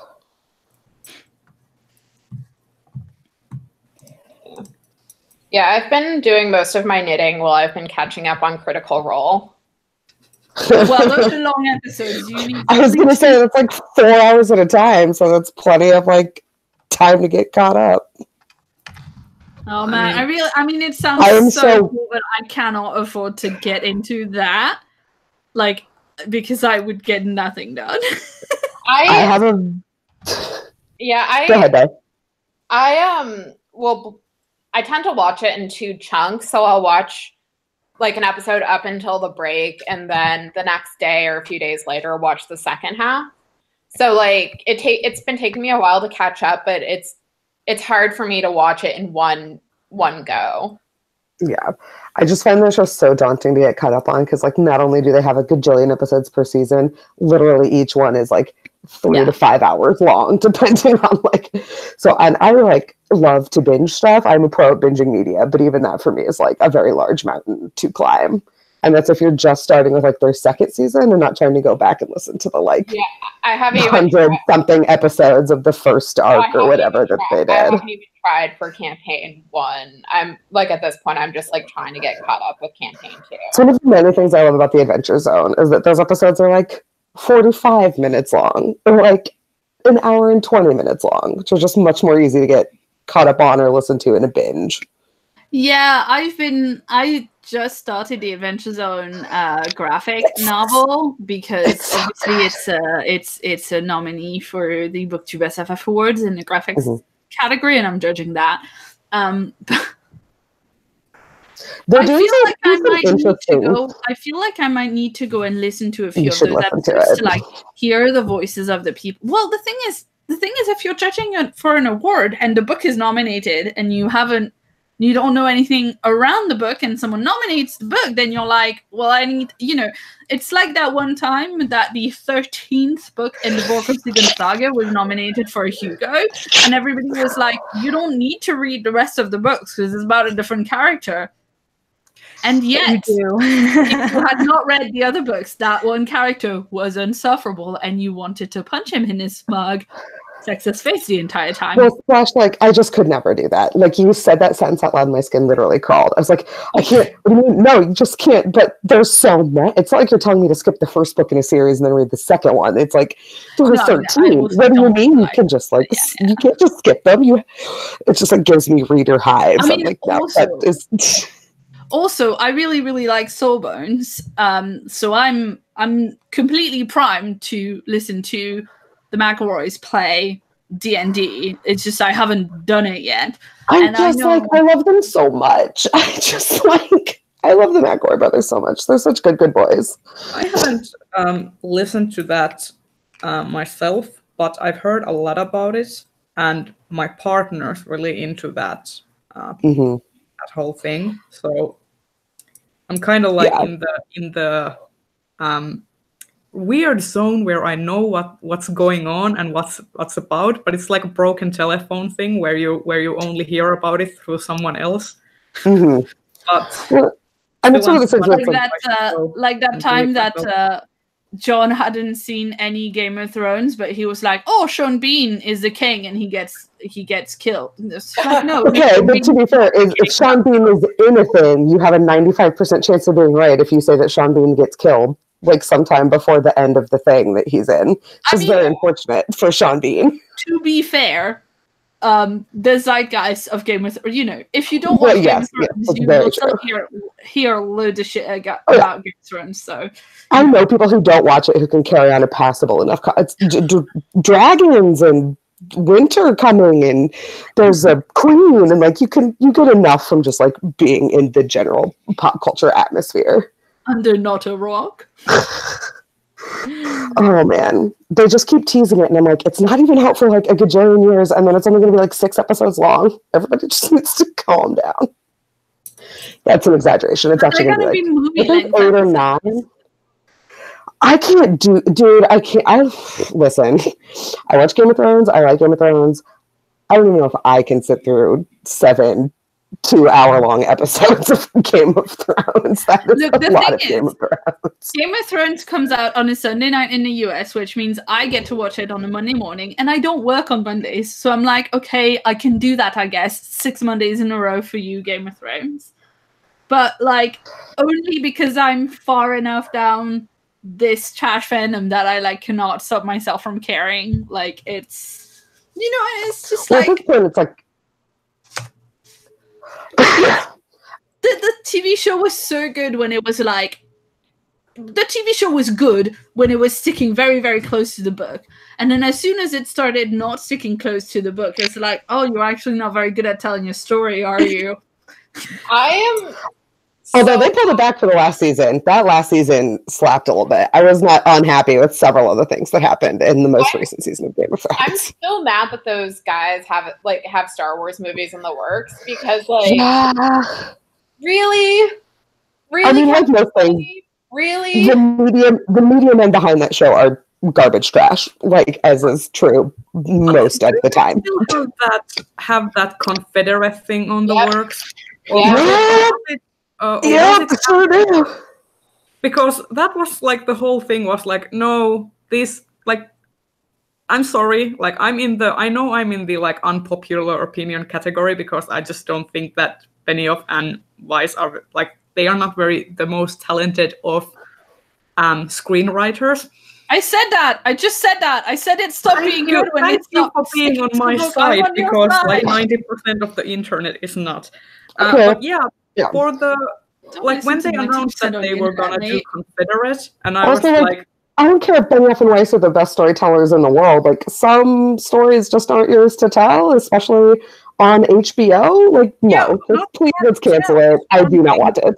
Also like that particular story has been told like so many times like it's the it's practically the same thing like what if the nazis won and philip k dick has made a career like made a career out of that and you know It's been Like- done before. yeah like it's, it's not Oh. original and people were like well it's it's a new new fresh I also, idea like, No, have a no. Tiny problem with that because, like, while the Nazis did technically lose, it's also not like we live in a Nazi-free world. So it's like yeah, uh, they they they're gone. They're not eradicated. They're not like figures of fantasy. This is maybe like not my favorite alternative history that we're doing. yeah like i just can like can we just end the whole grim dark tv show thing and go like can i have my fluffy stuff now like i have endured so many of these like uh, blue and green filtered uh, slaughterfests. Like, can I have Mhm. my sweet uh, fairy tale retellings of like colorful costumes and s- such that have a little bit of like hope? Because grimdark is not escapism anymore. When is the new Fruits Basket anime airing, and how can I see it? Oh, did you, Yeah, I did. Did you see the new trailer for it? They I just have. they just announced like uh, where they showed every of every one of the main cast uh, uh, with their new voice actor, and I was like, Ooh. I was a bit shocked that Yuki has a male voice actor now. I'm I'm so used to I'm so used to hearing him like with a female voice actor that I was I was thrown a little. I was like, wait, what? Not my Yuki. It's been so so long. I read those. I read the manga in high school, and so Yeah, I- like it's just been delightful listening to your videos, uh, Rachel, when you were rereading it. Because I was like, you know, I was kind of like, I don't really. My library doesn't have it, and I don't. I'm not gonna buy all of it again to reread it because that's too much. You know, I can't even I cannot make sense of that. That's that's silly. That would be silly. But like it does sound delightful and I wish I could, you know. It sounds like such a good time. I just want the next volume of Fence to come out. I'm very upset that the most like next trade volume of Fence is not out yet because I'm all caught up. Yeah, and like how much more of Fence are we gonna get though? Because like it can't tell. Uh, I hope enough to see smooching. There hasn't been smooching. We better get some smooching in Fence before it's over. I will die on this tiny hill. Um, Yeah, no, I mean I think smooching is planned, right? Because I heard an interview from the writers of I would be Fence with shocked. Gav. Um, I heard an interview from the writer and the illustrator of Fence with like Ga- uh, Mhm. Gavia Baker Whitelaw um, a Mhm. million years ago on one of her podcasts that she does for Daily Dot, and they were ta- Yeah. they they are from fandom and they're like clearly just like planned it as you know. And so it's I just. I just at Oh, some I would be shocked if we don't get it. at some point, someone on Goodreads yeah. said something like, "Oh, isn't there supposed to be a really short series with only this many like trades?" And I was like, "No." Yeah. So I think up to volume eight or nine, something like that. Like, I mean, it's really, it's really, it's it's not been very fast moving so far, you know. I mean, no, to be fair, it all revolves around a fencing tournament. So it's not exactly like the uh, most high stakes of thrilling, but also it's much more about just like several levels of queer tension. And I like it. Yeah, It's been a long time since I've liked a contemporary, like non fantastical or SF like graphic novel. So it was fun to find like a queer fourth romance one.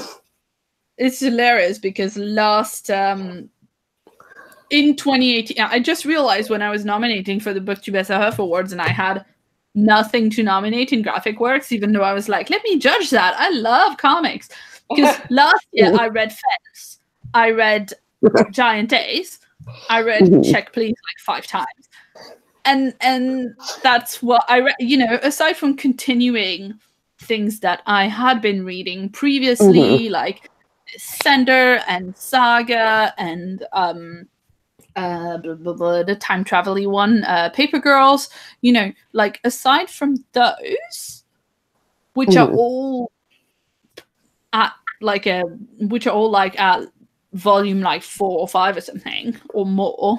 Mhm. Um I just not really read anything new that in any any new speculative comics. Yeah, I think I just realized this is the year I'm gonna have to give up on trying to both stay caught up with new stuff to nominate and get caught up on the stuff from the previous year that I didn't get to read that was nominated. Like every year I try to make my brain stretch to handle both categories of books, and it's just like, no, I'm not, we're not doing this this year. So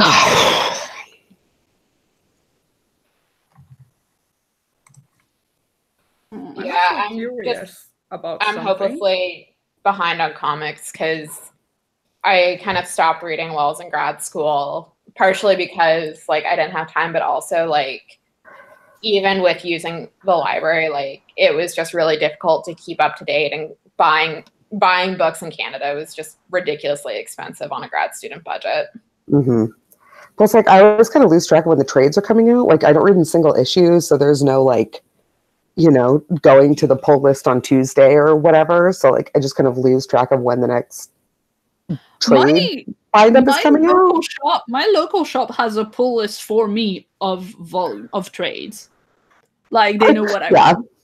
They, I'm sure if we like- go in and sell one up. they just like they put them as you know i mean i and i'm not saying for me as like i'm so special like they just No, like, and I'm sure if I went into my comic book shop, they would let me do it. That gets more into my reticence of like the local comic book shops in the area and the general like atmosphere of comic book shops and like my desire to actually physically go into one. yeah i'm i you know i we are very fortunate with our local so i'm not gonna you know yeah. Yeah, I know. one of the saddest thing, one of the saddest things about you know the fact that i don't want to like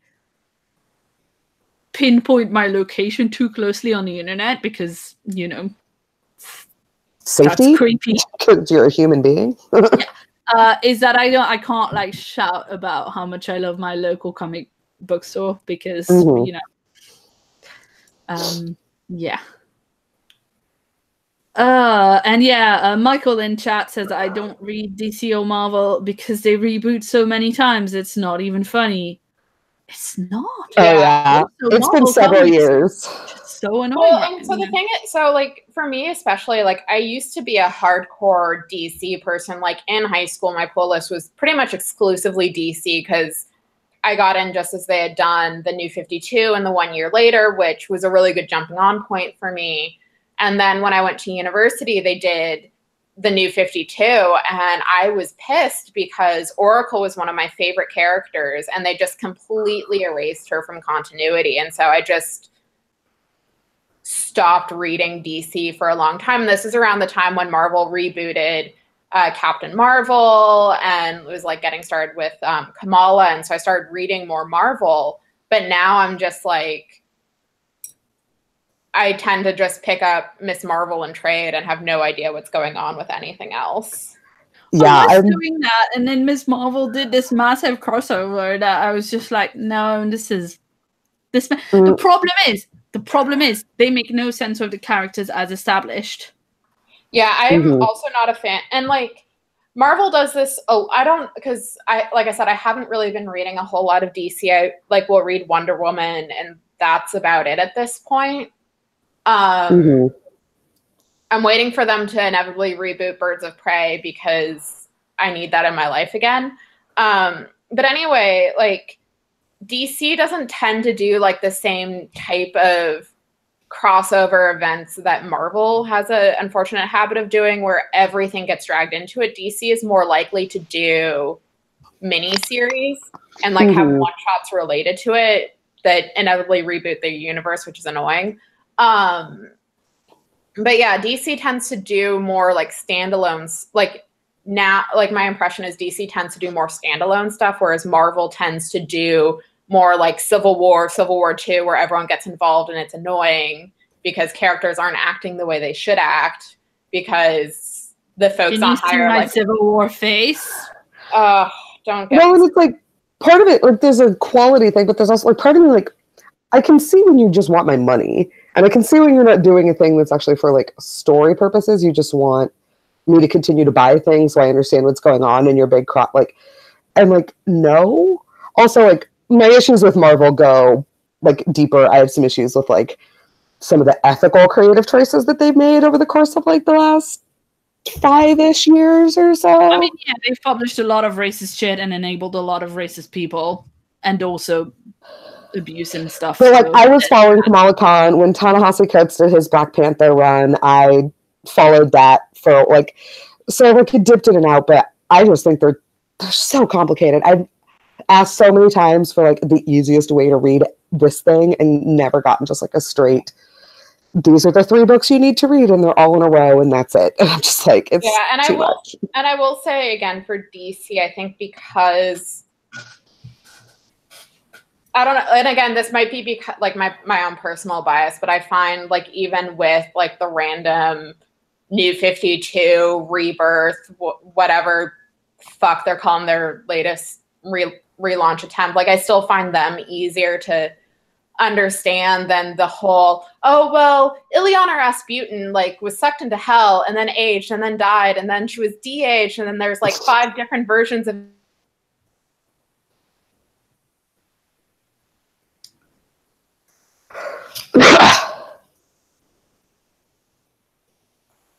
Everybody froze a little bit for me. yeah I um, Yeah, I like Jay and Miles explain the X Men a lot. Um, that's the only reason I know anything about like the X Men, other than um, Jean Grey will not die. All my X Men knowledge comes from Cherik fanfic. Like this sound yeah, also yes first of all claire yes affirmative. Yeah. uh, secondly i just feel like and i know this isn't really true but like i feel like i kind of missed the comics boat when i was a kid. Like i feel like i was like in my little like nerd canoe and the river forked and there was like comic book space nerd and then there was like tolkien fairies and elves nerd and i just like paddled right down that path and i feel like i kind of like missed my entrance to comics just like as a thing. So now trying to like be an adult and hop back on that like train is just proving uh, slightly more daunting. That's why I like like limited series, contemporary stuff, runoffs, things that have already started like after I got to the place. Yeah, I mean, yeah, also like I was into comics when I was little, you know, but like we had different comics. Like the, the, the Mhm. Marvel and DC comics are so deeply steeped into like anglophone and specifically American like culture, which is not to say they're Yeah. bad, but it is to say that we just didn't have them in France because Mhm. France is very much like you know they'll they'll dub um Hollywood movies so that we get to see them in French when they come out. You know, we get a lot of translated books, but we don't actually get a lot of translated comics because we have a thriving industry for bande dessinée in like France and Belgium and like just f- general francophone works. Mhm. That's pretty That's much what I grew up on, like French Yeah. comics, like Valerian and uh, God, they are Tintin so and uh, stuff. That's I, would say Yeah, I yeah, read a lot of Tintin when I was younger. My library actually had a really large Charles Schulz and a really large Tintin collection. Mm. But, See, I wasn't uh, into comics until it was like it was two two things. One, I started watching Teen Titans. Um, so the not Teen Titans Go, but the original, and like that got me interested in DC. And then I also started watching Justice League and Justice League Unlimited, which I think, like, even if you don't aren't familiar with DC, it's worth watching those shows because it's just such a good intro to who these characters like the best like my favorite versions of these characters. And then Mhm. um, my dad at the time lived fairly close to a really nice comic book store in oakland dr comics and mr games. And um, we would my sister and i would go there and i would just like flip through the single issues which is how i got started reading teen titans and then birds of prey and so that was kind of my intro into comics was those two shows and also just convenience Mhm. I had a subscription to Spiral magazine. Like get comics, get like a comic magazine subscription to my house for literal years until my dad was like, "Aren't you too old for that comic book subscription?" And I was like, "No, no." So I think that's that's awesome. That's how I, we rarely bought books, but we're such heavy library users. Like I can distinctly remember charting basically my like literary development and like summer binges. There was like the summer I did all the Dear America books, and then there was the summer I did all the Goosebumps books, and then there was the summer I did every Tamora Pierce book that was in the library, and then there was like Yes. yeah, and then I went there with the Stephen King, and I just like progressively got further and further like away from like the young adult and middle grade sections into like the adult stuff. But like it was always just whatever the library had. So I've read like the second, third, sixth, eighth, and ninth book in some series, and like just never gotten back to the other ones. Yeah, one of both the best and worst parts about having an after school job um, when I was in high school was I bought so many comics and I still have like I got rid of a bunch of them in various movies, but I still have a bunch of the ones that I bought like over 10 years ago now. Mhm. I also had um, subscription um, magazine for Donald Duck. Oh yeah, yeah, yeah, yeah, yeah. Like the most popular comic book magazine in Finland, even to this day, for some reason. So are those translated into Finnish then? Because they're for kids, right? Um, yeah, like they are translated into Finnish, but also there's like a real huge like Finnish Donald Duck comic book artist like group that does the magazine. So there are like exclusive Donald Duck stories Ah. that are by That's Finnish amazing. authors. So And recently there was this like rap star who is huge in Finland, like a Finnish rapper, which is like an oxym like yeah, yeah. yeah. Anyway, a Finnish rapper who wrote one of the Donald Duck stories, and there was this huge splash like, read this Donald Duck story, and it was like weird. Okay, so I have a question about this because you're calling it Donald Duck, and I'm wondering if the magazine is called Donald Duck in Finnish, right? Because um No, no, it's called Aku Ankka. but does it is it is that in reference to Donald like the character of Donald? Yeah, like um, duck mean like Ankka means duck, so it's basically a translated name. Like every every name is translated, and Sure. they're very big on like puns. So Makes sense. And also, if there's like a celebrity reference for like a foreign celebrity, like a Hollywood celebrity, then they try to have like a Finnish equivalent for the Huh. celebrity instead of like um, have, having a reference to a foreigner. Unless, like for example, if there's an Arnold Schwarzenegger reference, that's that's obviously um, such a well-known person that even us Finns will know him. Uh, because I, w- I was asking because in French, obviously they also uh, translate the stories because it's for kids. Um, but the um, I guess they don't really sell they don't really sell magazines. They sell um, they sell like big, like chunky collected books that are like Yeah. you know Uh, here's it's like both. You can buy the Yeah. like trade paperbacks or mass market paperbacks in the like supermarkets and stuff, but they also have the magazine. And Mm. I when I was a kid in the 90s, uh, they had this editor's corner where they would always post like Disney related news, like all the like Lion King is coming in the next two months, and here's the here's an interview with the Finnish cast and stuff. So Mm. that was probably like my favorite part of the whole magazine was that whole editor's corner. But the, the the omnibus books that we had they were like half comics and half like little games that you could do like you know like a little like maze or whatever or Yeah, a puzzle or you know wordplay or whatever and um the magazine is called after um scrooge mcduck but in french i mean i know scrooge is a reference to ebenezer scrooge and it's Yeah. not positive but in french his name is uncle picsou which is a pun for like which means like money thief. Um, in, and like literally the translated the new the new um ducktales series the new ducktales series if you listen to the theme in english it's all about having adventures and stuff. If you listen to the theme in french it's all about like how uncle Pic- uh, uncle picsou like is super rich and like stealing money from the people it's quite like It's very anti-capitalist, Claire. it's so it's really funny That's hilarious. it's about how rich he is Yeah, in American it's definitely just a show about these three annoying ducks and their very rich uncle, and also their other very clueless uncle, Donald. Mhm. So But the new voice cast has David Tennant and Danny Pudi. And Ben Schwartz, who I love, Jean Ralphio is the best. I love him to death. Um, so I only found this because Sam Riegel's the voice director for um, DuckTales. And for folks who don't know, Sam Riegel's a cast member on Critical Role. Um, and his day job is voice directing a lot of the Disney shows. Anyway, um, he at Disneyland hosted like a live table read.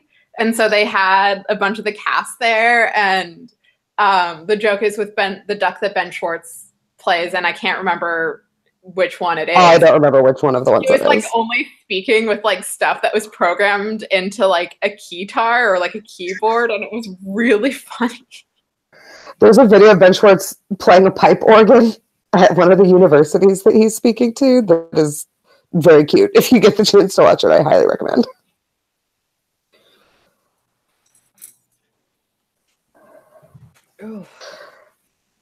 Okay, the, follow me down this path, friends. Speaking of DuckTales, who features a voice Lin Manuel Miranda character, did we see the new Philip Pullman trailer for his Dark Materials, also featuring Lin Manuel Miranda Yeah. as I Lee Scoresby? it, But I saw Tor.com just post uh, post about it on Twitter, so I need to check Mhm. it out later.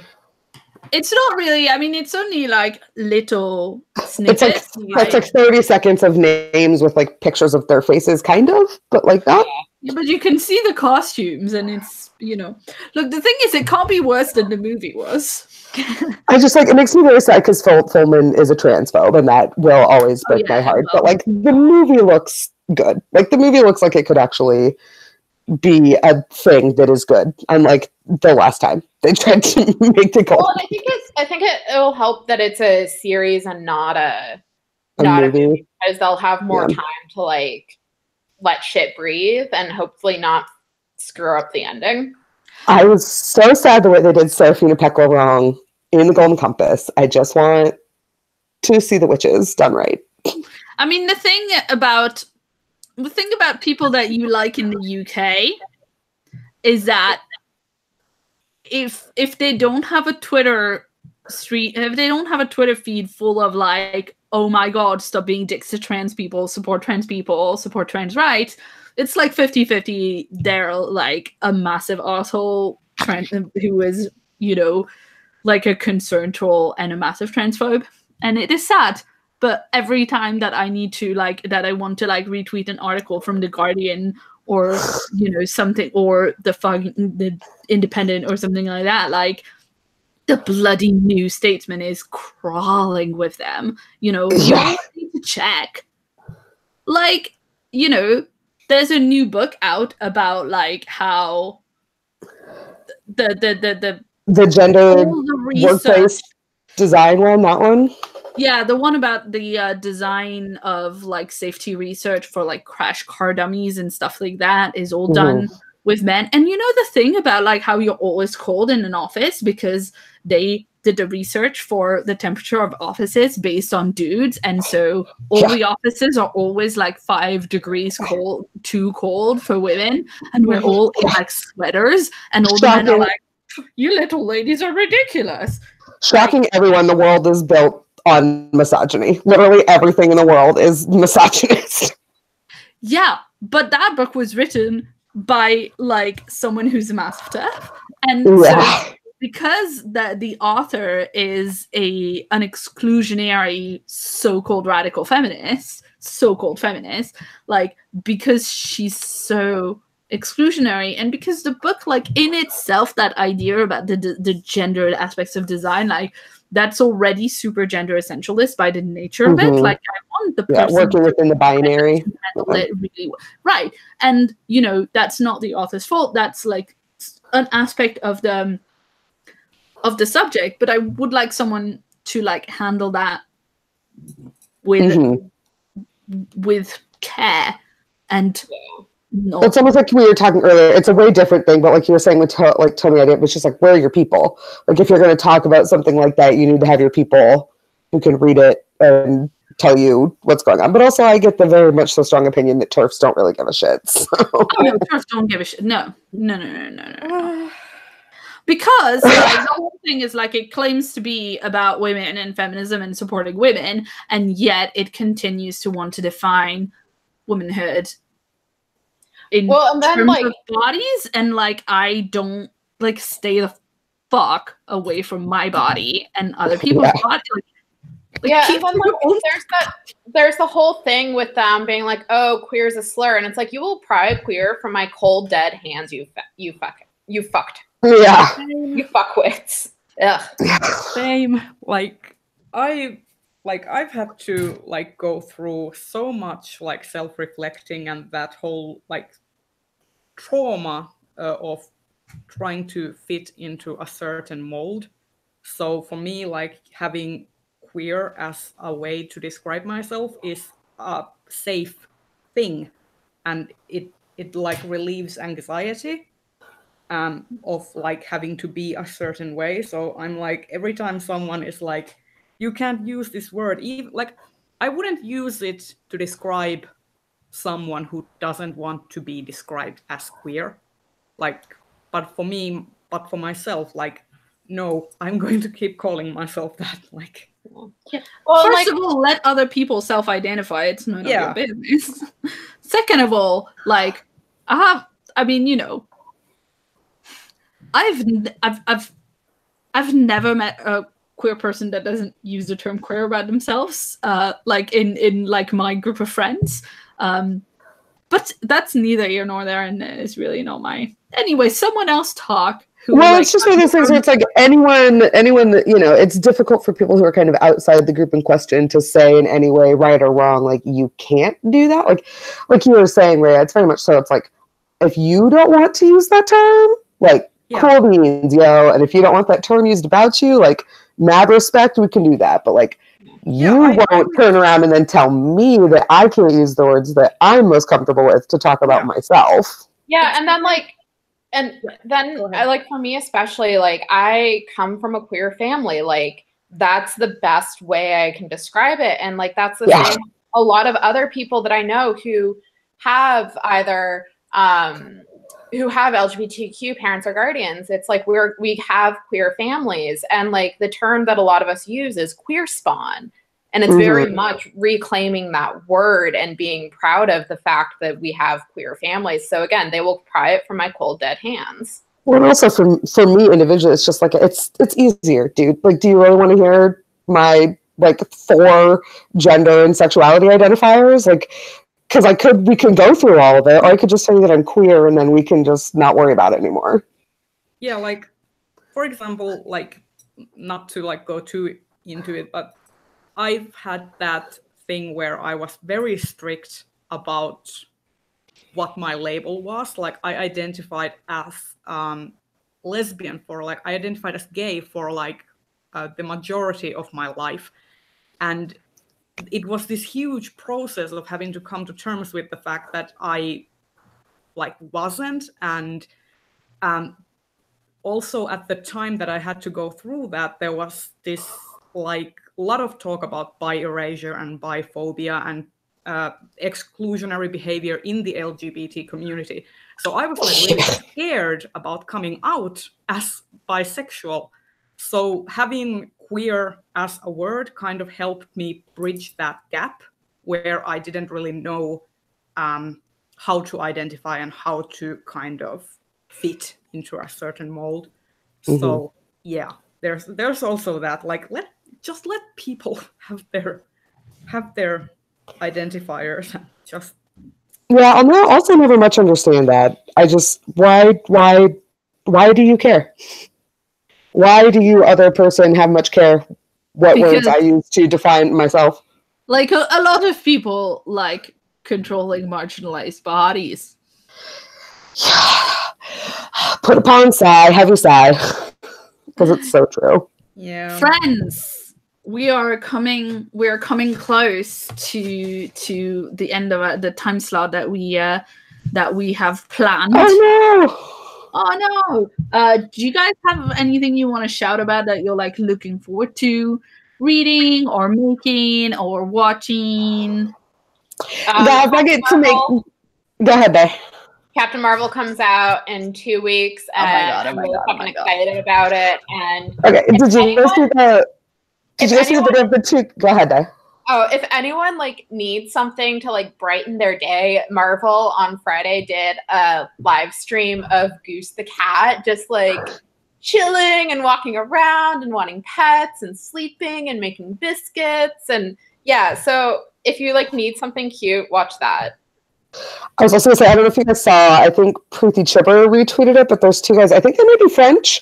Uh, there's a white guy and a black guy, and they're two really good friends, and they've made Marvel stuff before, but basically they made this like three minute movie in their hallway, just like shouting about Captain Marvel and how great it was going to be, and how if you don't go see Captain Marvel because she's a lady, you're really stupid, and like, it was just a very, it was just a very nice video. Like it made me very warm inside because these two dudes are very goofy, but they share a lot of enthusiasm for Captain Marvel. Uh, yeah, I'm. I mean, I'm also super excited about Captain Marvel, but uh, tangent that I thought about uh, when Di mentioned Goose the Cat. Um, our friend Bree, who's one half of Kit Rocha, just got a puppy. oh my god, her new puppy is so cute. And she already has like a grown up dog that's super excited about being a big sister to the puppy. There is nothing like watching a huge because her other dog is like basically a tiny horse, like it's giant, and this new puppy is like the size of her. So it's like watching this giant dog, like watching this giant dog figure out how to play with, but not destroy this tiny dog. Is just it's been a very cute weekend. I feel like I need to do like a, a recommendation list somewhere of like good Twitter accounts for for pet pictures. hmm Alyssa Cole is always posting pictures of her cat Tico, who is very adorable, and her chickens. She lives in the Bahamas, and they have chickens. Um, one of my favorite Twitter accounts to follow is I don't actually like. I will link that somewhere um, for my Twitter or something. But um, there's the Turkish guy who takes in rescue cats and he plays piano, and the and the cats listen to the piano and are just like fully immersed in the music. And he plays like his own compositions for them, and they're like there, there there's been like videos he's um he's linked where there's like eight cats all around the piano and they're all listening to the like song. And it's it's so wholesome. It makes me so happy every time every time he appears on my feed. I'm like stop everything i'm doing and just watch the video. Yeah. Uh, quick plug: the Oscars are tonight. I will be watching the Oscars tonight. It's probably going to be a hot mess, but I will still be watching. I watch every year. It, it's it's 9 p.m. here right now, and uh, we went to bed at like 5:30 a.m. this morning because of like the stuff with John's massive long videos. So Yeah. I think I'm gonna try and like I don't know how I'm gonna get to actually sleep tonight because I of just- that. Like Girl, I would way sleep over the. Oscars. I would wait till tomorrow. You can catch those wrap ups on BuzzFeed. I would Yeah, sleep yeah, before I watch the Oscars. no, no, I'm not intending to watch the Oscars. I'm worried that I'm not. I'm worried I'm not that actually I'm gonna sleep. gonna sleep. But oh, I think um, I'm just gonna like go to bed at a decent time with like hot chocolate and try and read and finish. Well, not finish space opera because like there's 200 more pages of that lush. Plus, that book is a fucking trip, man. That is not the book I would take to bed with me to like snuggle up for my relaxing nighttime read. I mean, it's not like bad, but that book is a fucking trip. All uh, Cat Valente's Brain is like a very, I would think would be a very fun place to get to go like hang out. I mean, look, I was talking about how trippy it is before uh before you uh came on earlier. And like I'm I'm not I'm not getting through a whole lot of it um in in in a, in a go. So I don't know. I might try something else before bed and try reading that like at a different time of day. But yeah, Yeah, I found with that one I had to be actually awake to read Yeah, it. that was like my noon lunch, having had a cup of coffee, like reading the book. I think i'm also gonna watch the oscars tonight because i've already ruined my sleeping schedule so I might as well I I'm don't literally just watching for best song. I just want to see if Lady Gaga wins best song, and if Bradley. I want to see if they make a Bradley Cooper pissing his pants joke. That's what I really want to see. That's what I'm really looking for. wins uh, best animated picture I which think one? Sorry, did you say? Spider Verse. I want to see if into the spider verse wins best animated picture I mean, I really, really, i really want see to what else would. I mean, you know. Look, I've not big- seen any of the other ones, but clearly it should win. it was like one of my favorite movies i've seen this year like It was it was really it was so inventive in terms of the actual like like that's like it's basically what I like to call, anim- call animation porn. Like every Mhm. frame is a for sure. masterpiece. And it's always fun because the animators for that movie have been like doing a bunch of Twitter threads recently on like Yeah. how it is that they did it, and it's always super Yeah. fascinating to hear them talk I- about I love it. Like I want to like have the Blu-ray from that movie where they have a bunch of like behind the scenes features, and then I want to watch all of those. I just want the favorite to win everything. I just want the big gay favorite with my beloved Rachel Weisz to win all the awards. Look, Olivia Colman is a I love her fucking so national much. treasure.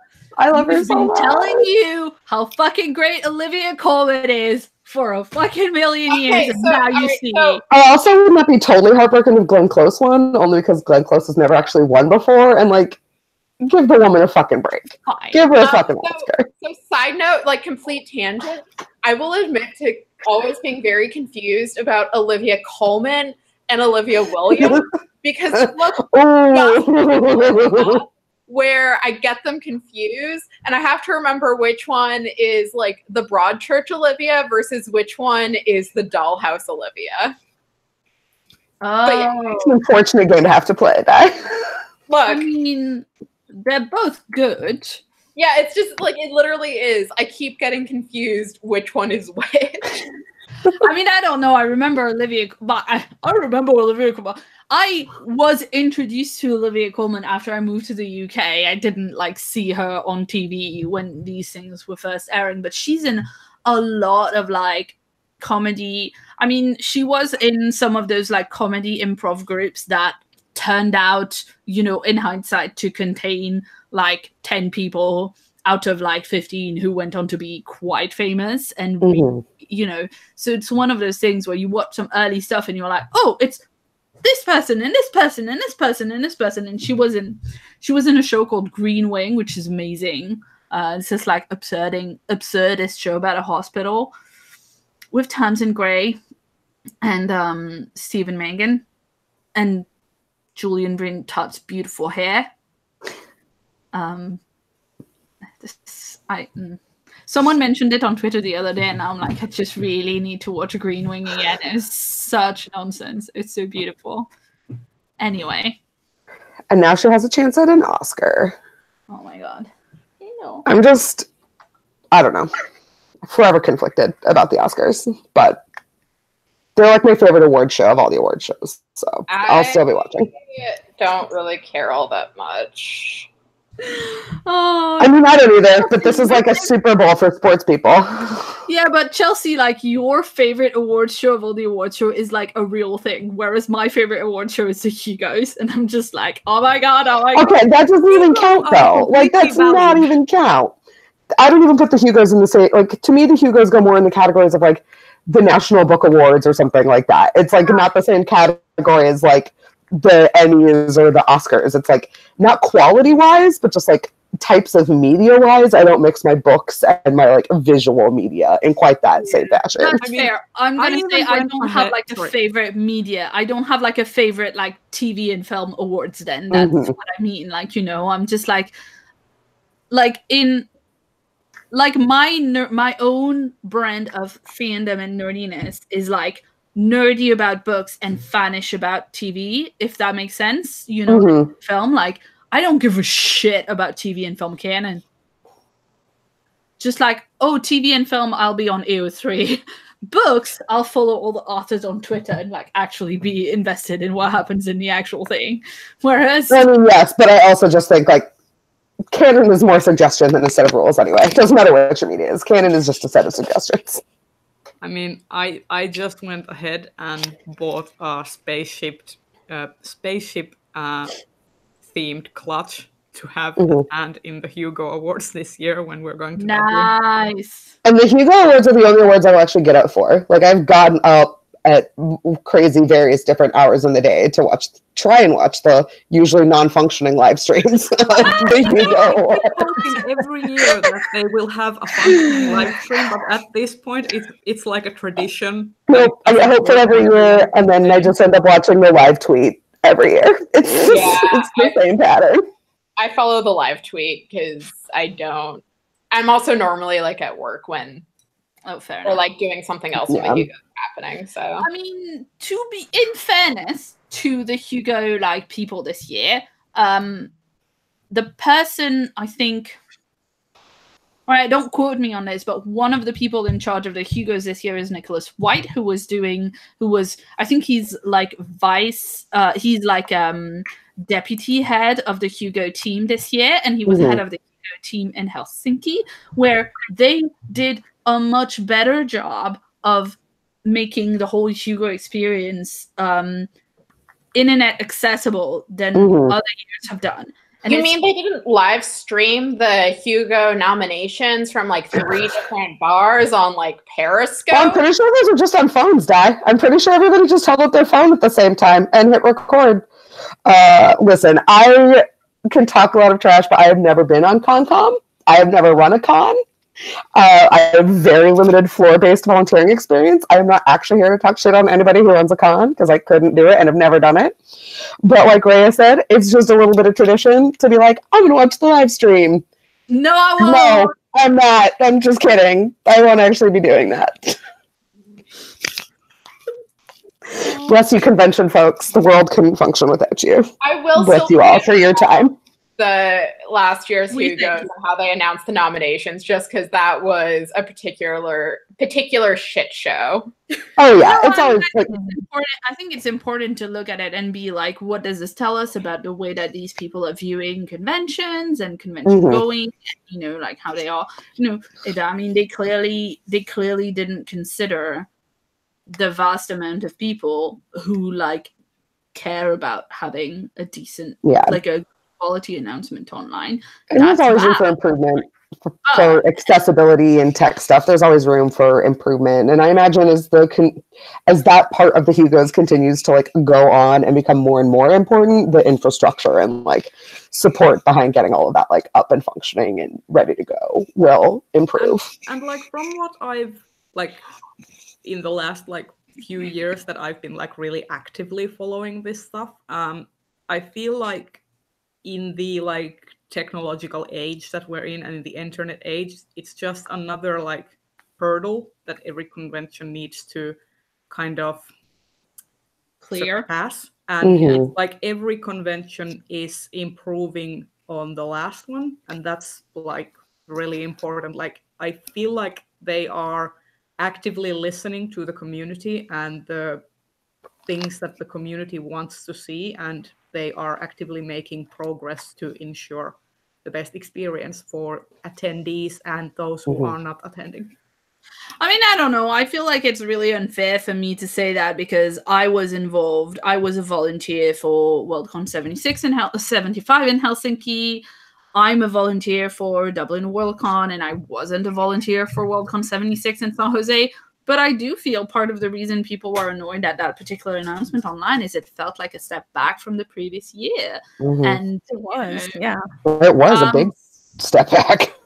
yeah so i mean i don't want to like throw massive amounts of shade because i'm on the programming team for uh worldcon for dublin worldcon and like i'm behind so i have to like take some time i have to like s- i'm planning on specifically like taking a day off and like immersing myself and like hyper focusing on it you know like that good like i'm gonna now do convention things for like 10 hours. It's gonna be bloody great. But yeah it does take a long time um and it's you know it's a lot of work. Uh i just think you know most like a lot of issues can be solved by like i don't know i feel like a lot of it is like trying to have a bit of foresight but again like i just i probably shouldn't say something like that because it's gonna karma me in the arse but I think anyway. it's like I, I understand the like feeling like you need to take a step back because you are actually like in the planning group and such. But at the same time, I feel like like not to like throw shade at anyone or anything, but it's important to also take pride in what you got right and like you know like tooting your own horn sometimes is completely like like it's it's fine Well, When I shall toot my own pat on horn once we've got it right. The thing is, now we're working on it, so you know. but yeah, uh, speaking of, I mean, I think uh, we need to start wrapping up because the cat wants to be let out of this room. Um, but uh, before we Let her in. before we wrap up, no, she's just at the door now. She wants to go out of this room because you see she's eating in forty five minutes, and so it's time to start. Um, Staring at her ball until you feed her. no, she makes a little cute barricade in the hallway every time I want to go somewhere and like meows at me. It's cute. Um, but I yeah, I just wanted to here. remind everybody, uh, every anyone who's still watching, uh, that um, uh, this is your PSA. YouTube channels that talk about books, like all of ours, are eligible for best fan casts, and you should consider them. This is your Hugo Award PSA before uh, the um, before the end of the nomination period. And uh, we are also going to do one of these live streams uh, once a month. Nominally, they were for talking about our book, Scarves and Blankets, which I made something. So I feel like that's, you know. After the amount of sleep that I got last night, making half of a hexagon is perfectly fine. Um, but we do we know whose channel we're on next month? Uh, mine. I think, yeah. It's mine. Cool. Yeah, Great and Gray is in March. so Ray's channel in March, we're going to uh we're going to work on scheduling that because as it's been pointed out in the chat, we've got UK, Finland, and like loads of US time zones. Yeah, So- I should see the time zone like Rubik's cubes that need to be put together every time we're trying to get one of these things scheduled. Yeah, actually really proud of us for like having been able to do this for like the I know, right? past two months Yeah. in a And, relatively um, like easy yeah. easy manner. I'm also really proud of me because I managed to get my video for tonight rendered before the live stream so that I'm actually going to be able to put it out like before 10 p.m. and not at 2 in the morning. Yay! I'm well Yay, proud of there. myself for that. so look forward to genre wise coming up in like uh, an hour or so. Yes. Um, and uh, I'm gonna go. F- um, no, I'm not gonna go feed the cat because it's too early. um, but I'm gonna go feed the Claire because the Good plan, friends. All right, well, I'll catch you guys uh next month sometime on Yeah. Ray's channel. Yay! Sounds good. Bye guys. Bye. Bye bye. Bye.